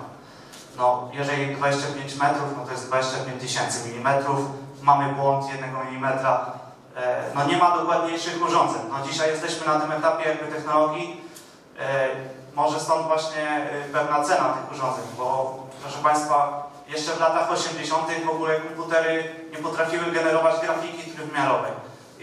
W latach 80. No, film zaczął korzystać z komputerów. Komputery to były superkomputery, na które, na które mogły sobie pozwolić e, tylko rząd, ewentualnie największe finansowe instytucje. Komputery potrafiły kosztować po pin- 15 milionów dolarów. E, Dzisiaj sprawdzałem, według e, jakichś danych o inflacji, byłoby to powiedzmy komputer, jeden. Jedno urządzenie wielkości dwóch takich, e, dwóch takich pomieszczeń jak tutaj, kondygnacji, ponieważ to trzeba było jeszcze schłodzić, zasilić, trzeba było sporniki dodatkowe, stalowe do, do pomieszczeń wstawiać, żeby można było zainstalować po prostu to urządzenie. Taki komputer kosztował 15 milionów dolarów. Dzisiaj to jest e, 220 z tysięcy, milionów złotych. No jest to dużo, to było jedno, to było jedno urządzenie. Z takich urządzeń y, korzystały y, jakieś właśnie instytucje finansowe, albo na przykład y, y, instytucje, które badały y, jakieś ściśle tajne, tajne projekty i dopiero potem zos- zostały y, wykorzystane w y, tworzeniu grafiki komputerowej, dzięki której, no wiadomo, y, przemysł rozrywkowy jakby dzisiaj, wiadomo jak to wygląda. Mamy postacie cyfrowe, które są tak rzeczywiste, że nie możemy ich odróżnić, czy to jest osoba na planie, czy to jest tylko wytwór komputerowej jakby twórczości. Ale ja stoję koło Ciebie i właśnie dalej będę kontynuowała, nie jestem wirtualna. No, I e, no muszę Ci głos odebrać. Jestem szefową, nie ma tak łatwo. E, Proszę Państwa, w tym roku realizujemy e, z kultury cyfrowej projekt e, cyfryzacji katedry w Kamieniu Pomorskim. Udało nam się uzyskać dotację w związku z przygotowaną rocznicą dziesięciolecia chrystianizacji Pomorza Zachodniego. Przy czym to, co Państwo tutaj widzą, to nie jest scanning, to jest fotogrametria, bo my pracujemy dwutorowo. Scanning realizujemy z pieniędzy dodatkowych źródeł finansowania, bo ceny są ogromne. Katedra w kamieniu będzie kosztowała łącznie 300 tysięcy. a e, wykonujemy fotogrametrię, która jest dla nas łatwiejsza do opanowania finansowego i to jest już efekt pracy zespołu fotogrametrycznego, bo tam pracują trzy osoby, właśnie tutaj kolega Mateusz Oleksiak i Agnieszka Osiak, a przede wszystkim e, Krzysztof Tymbarski, który jest architektem i specjalistą od fotogrametrii. To jest akurat fragment wildarza y, zrobiony w modelu 3D, a mamy też rzecz, o którą nas poproszono właśnie w takim trybie ratunkowym, ponieważ y, pan Grzegorz Kulka, który jest dyrektorem Muzeum Kamieńskiego i Ekologii, który wejdzie wszędzie, proszę Państwa, więc 16 metrów nad ziemią na już ustawionych e, rusztowaniach odkryto bardzo ciekawy znak ochronny, tak zwany magiczny, stokrotka, albo tak zwany znak czarownicy, przy budowie tej katedry w miejscu takim ukrytym, więc tam oczywiście ekipa się wyłapała. Zaznaczam, że wszyscy mają badania, mogą pracować na wysokości, wszyscy byli bezpieczni, nikomu nic się nie stało. I wykonali taki model, więc działamy niejako doktorowo, no bo też i zespół musi się wdrażać i musimy się przygotować do tego, że liczę, że nie tylko taka dyrekcja finansową, więc kolokwialnie będzie, uda się te środki otrzymać i e, takie prace wykonać. Jeśli możesz dalej. E, I e, takim e, właściwie działaniem, którym przechodzimy tutaj do Pojzierza Praskiego, to jest wirtualny skansen przy drodze. Zresztą kolega Mateusz Oleksiak pracował w zespole tworzącym tę stronę. E, I tak jak Państwo widzą, jakie zostały przyjęte, em, że tak powiem, szablon e, od ogółu do szczegółu, więc nie tylko są tutaj modele sfotogrametryzowane 3D, które potem znajdują się na Sketchfabie, e, też kupiliśmy przecież licencję Reality Capture i mnóstwo e, sprzętu, ale tutaj zaczynamy od tego, że elementem takim z tych terenów jest zagroda szkolna, więc szkoła z stałą stopą ryglową, obiekty XIX-wieczne w Stawnie, w Niezłocienie. Zresztą pan burmistrz Zacharzewski nam bardzo pomógł, bo właściwie um, udostępniony ten obiekt, który był zarośnięty po granicę i po dach. I też można właśnie obejrzeć, zobaczyć, że nasza praca nie polega na tym, że realizujemy coś dla efektu wow. To jest wspaniałe, zobaczyłem, zobaczyłem na telefonie i właściwie niczego więcej nie potrzebuję. My wykonujemy z tego dokumentację później, ponieważ e, do tego są potrzebne oprogramowanie dla architektów, takie też mamy, stanowiska pracy. I dzięki e, wygenerowaniu takich e, materiałów e, inwentaryzacje są niebywale dokładne.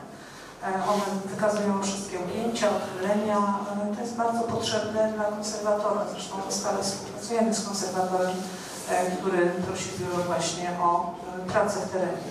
Dlatego, że posiadanie tylko drona e, to nie jest e, wiele, ponieważ drony się kupuje dzieciom na, na pierwszą komunię, tak? Niech sobie polata.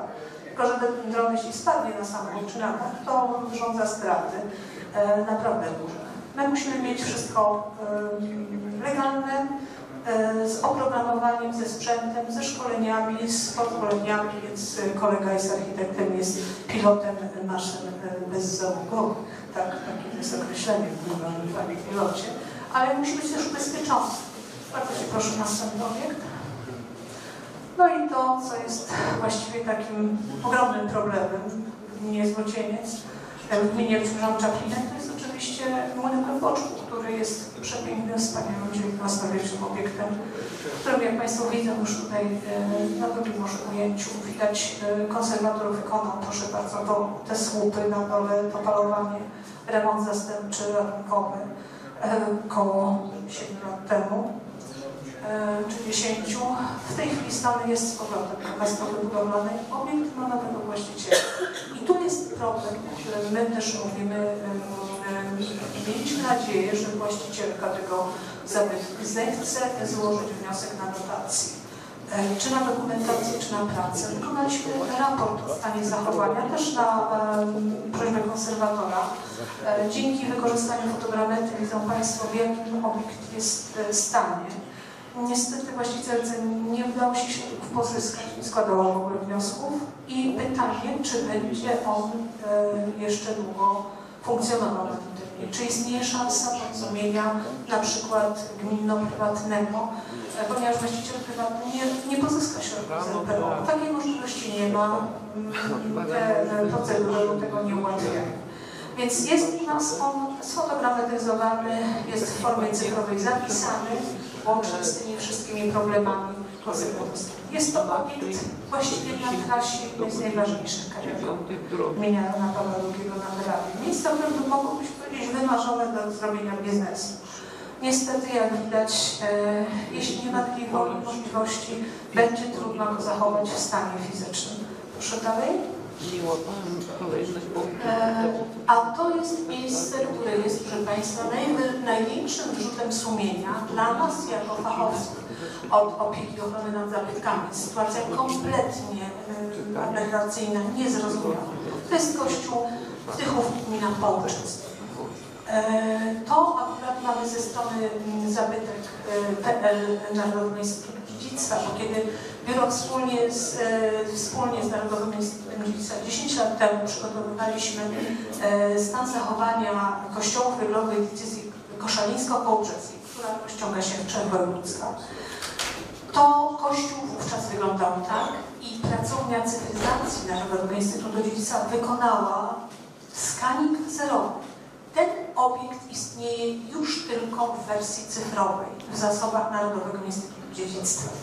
Ponieważ strona kościelna nie wykazała absolutnie woli zachowania tego obiektu, e, mimo że powstało, że właściwie zawiązało się gremium e, polsko-niemieckie podczas Antikonu, żeby ratować ten W zeszłym roku właśnie pojechał na wniosek konserwatora w delegaturze w Koszalinie, żeby udokumentować stan zachowania. Stan zachowania jest taki. Kupiec został rozjeżdżony, rozwłóczony y, ciągnikami pod osłoną nocy. Wielokrotnie, właściwie przed naszym przyjazdem, jeszcze prawie że walce udeptane, żeby tam nic nie było. Tam dalej pod, pod ziemią są krypty, proszę Państwa, grzebalne. Więc pytanie, jaki jest poziom e, szacunku dla przeszłości? To widać, ale widzicie Państwo na taki mały obiekcik. To jest e, XVIII-wieczna ryglowa dzwonnica. E, Pani konserwator Ewa Kowalska, która tam była razem z e, naszym pracownikiem, e, swoją powagą urzędu dopilnowała, że można było podrosty religiowe stamtąd usunąć i wykonać fotogrametry tego obiektu. E, Myśmy to zrobili, opracowaliśmy kartę architektury obiektu i złożyliśmy wniosek do konserwatora. Właśnie tutaj Państwo będziecie widzieli, jak z fotogrametrii, jak dokładnie widać, e, jak można zrobić rysunki ze wszelkimi e, ugięciami, czy też zniszczeniami budulca drewnianego. Jakie jest to praktyczne zastosowanie tego, tej cywilizacji. Konserwator Wiejski wpisał to do rejestru zabytków. Tutaj dotykaliśmy jeszcze takiego problemu. Obszar, na którym był kościół, to był tylko obszar wpisany do rejestru zabytków. Kościół sam nie był wpisany do rejestru zabytków. I żeby uratować tą dzwonnicę, wystąpiliśmy z tym wnioskiem o wpis, bo już za zniszczenie obiektu wpisanego do rejestru zabytków to jest kara od pół miliona złotych. Więc być może ten obiekt ocali. To jest praktyczny, e, praktyczny przykład tego, co oznacza cyfryzacja dziedzictwa kulturowego, szansą jego zachowania. Bardzo proszę dalej. Oczywiście mamy też przykłady zupełnie inne. To jest przykład cyfryzacji, ponieważ e, Siemczyno posiada cyfryzację sk- skanem laserowym. Panie prezesie ze Sowa, sprawdziliśmy, na pewno jest dobry. E, To jest akurat z naszej fotogrametrii zrobione z zeszłego roku, kiedy tutaj mm, Krzysztof Dębarski latał sobie nad, nad zespołem. Ale to jest też e, dokumentowanie etapów e, remontu i postępów. Tu widzimy obiekt i widzimy tą oficynę z e, lewej strony i ona ma dziurę w dachu i w tym roku dzięki dotacji łaskawości ministerstwa będzie Pan Prezes mógł dołożyć trzy razy tyle jeszcze i zrobić remont dachu, ale już będziemy patrzeć na obiekt, który jest uratowany, który jest bezpieczny, który jest otwarty dla zwiedzających, a my mogliśmy w, tym, w ten sposób y, go scyfryzować i zachować na potomności, zarówno dzięki skaningowi, jak i tej fotogrametrii. E, Czy my będziemy mogli wejść i zobaczyć y, jeszcze miejsce, które, które szczególnie jest nam e, potrzebne? Proszę Państwa, to jest właśnie nasza, na platformie Sketchpad umieszczamy to, co zrobiliśmy do tej pory. A mógłby się zatrzymać przy tym malutkim przy dzwonnicy tam jeszcze? Nie możesz. Widzicie Państwo, jak to dobrze jest, jak ktoś Znaczy inaczej, ja to mam rzeczywiście otwarte na żywo. Aha. E, tutaj Cię. strona internetowa. Mhm. I to jest, to jest, proszę Państwa, e, znane wszystkim. E, w następnej kolejności pokażemy e, spichlerz e, w e, projektu Waltera Gropiusa w Jankowie.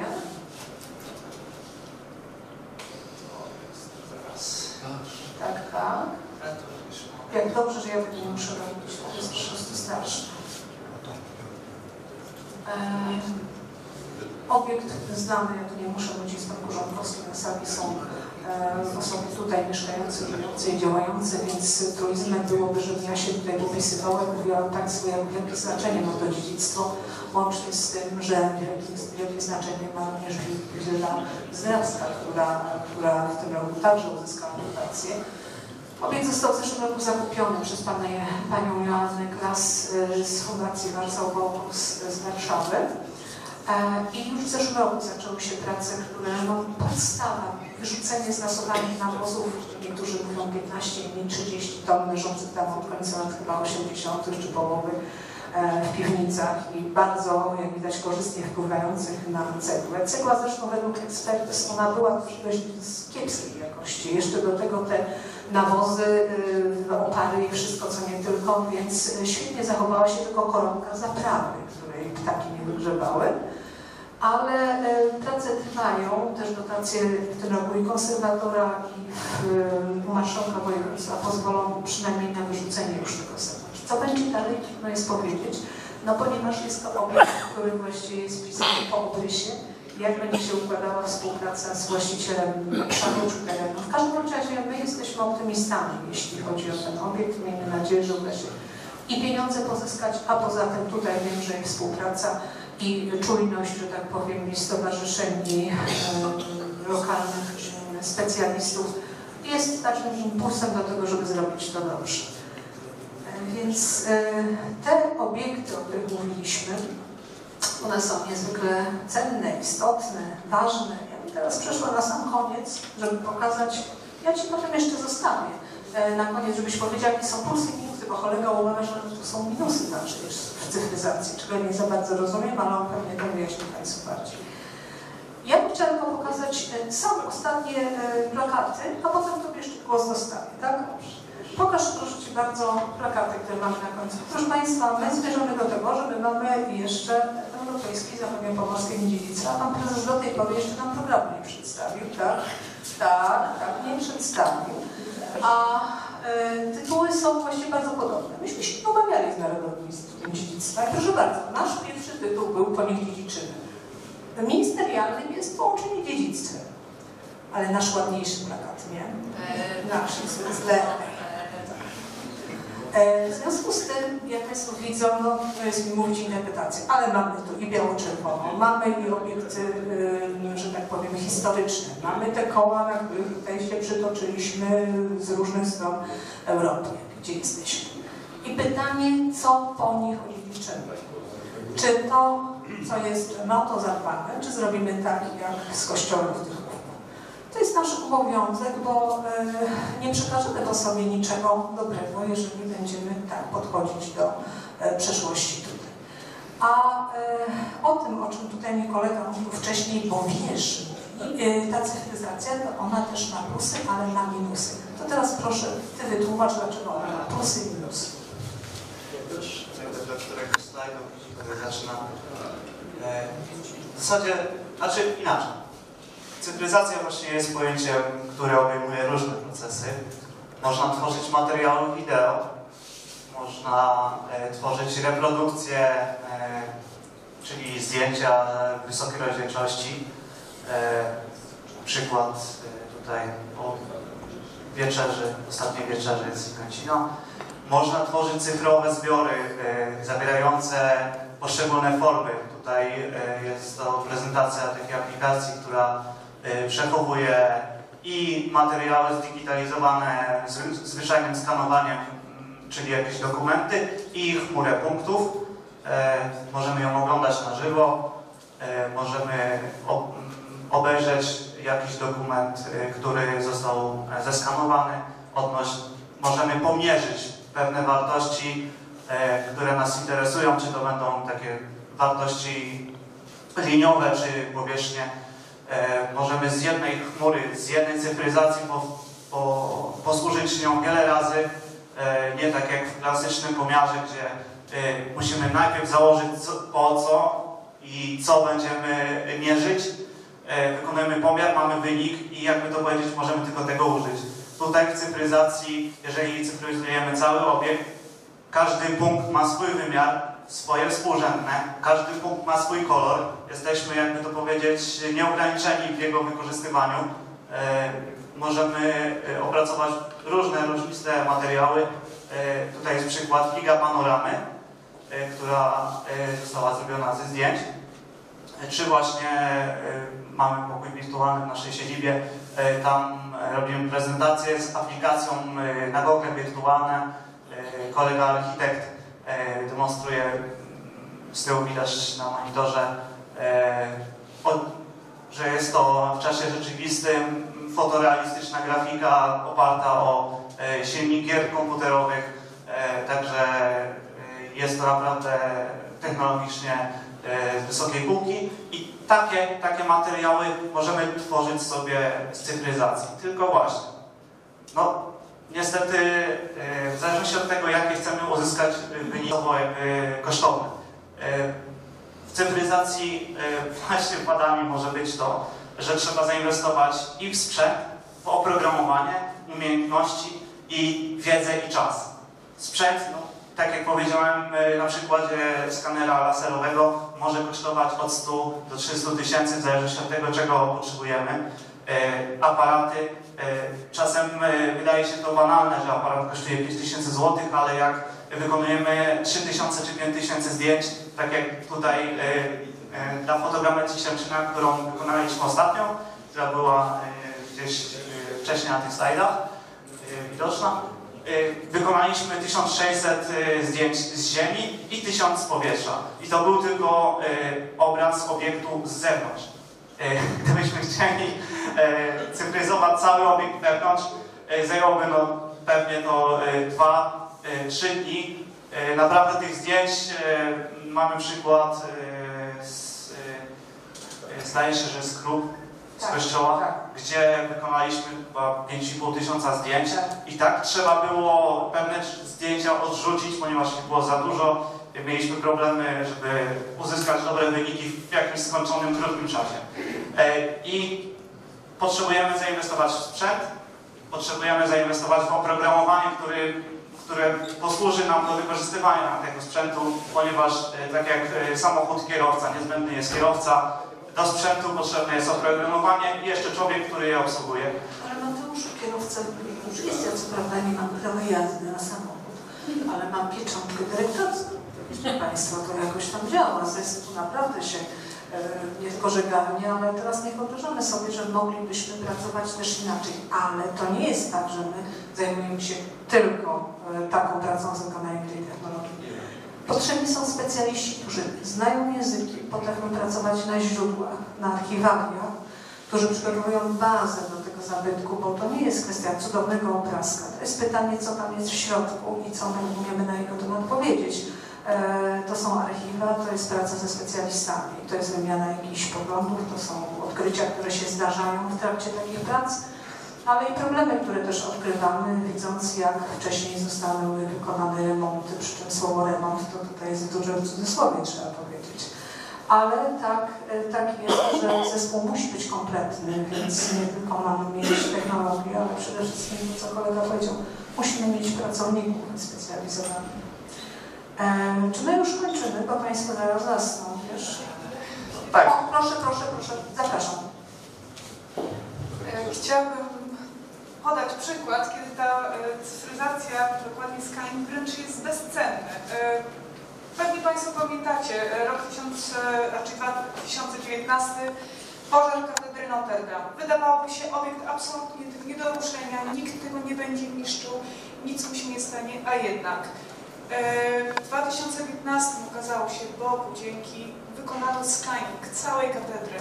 Gdyby nie to, w ogóle nić dachowa byłaby nie do odtworzenia na podstawie zwykłej, tradycyjnej inwentaryzacji zdjęć. Po prostu połowa danych, jak nie większość, byłaby dla nas po prostu już niedostępna. E, Dlatego na przykład z Kanik, czy kościoła w Więzinie, czy kościoła Mariackiego w Stargardzie, konkatedry e, kamieńskiej, niech im się tylko niechcący coś stanie. Będzie bezcenny termin. Także, także te 300 tysięcy, ten czas, to naprawdę nic. No jeszcze jest problem tylko taki, żebyśmy uzyskiwali dotacje w ministerstwie, ale na szczęście 900 lat chrystianizacji y, Pamrzowiego nie pominięto i jesteśmy bardzo zadowoleni.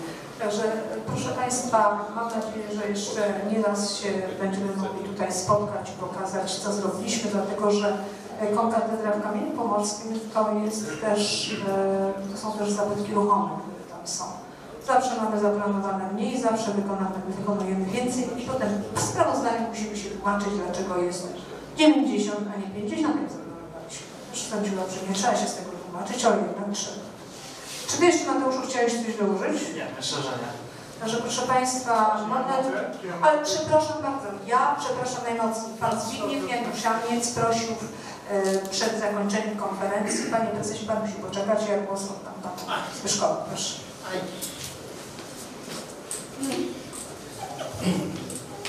Myślę, że, że będę wyrazicielem woli wszystkich tu obecnych. Jeśli podziękuję bardzo naszym prelegentom i chciałbym skromne pamiątki im w postaci e, przewodnika poczepnika mojego autorstwa dla panów, którzy tu skupili się na strukturze y, miejskiej Czaplinka i na zbytkach czaplineckich. Chciałem przekazać swój, swojego autorstwa dziewięcioczęściowy artykuł poświęcony kościołowi Szwinkla w Czaplinku oraz y, dawny plan Czaplinka, już się dowiedziałem, że koledzy dysponują już takim planem, ale mam nadzieję, że się przyda jeszcze. Także pozwólcie, że wręczę teraz te drobne upomnienki naszym prelegentom. Dziękuję bardzo.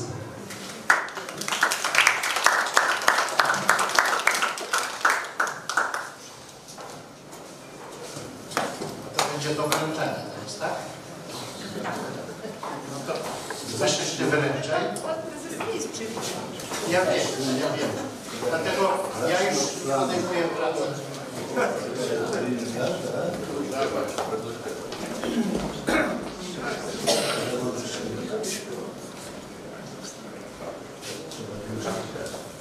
To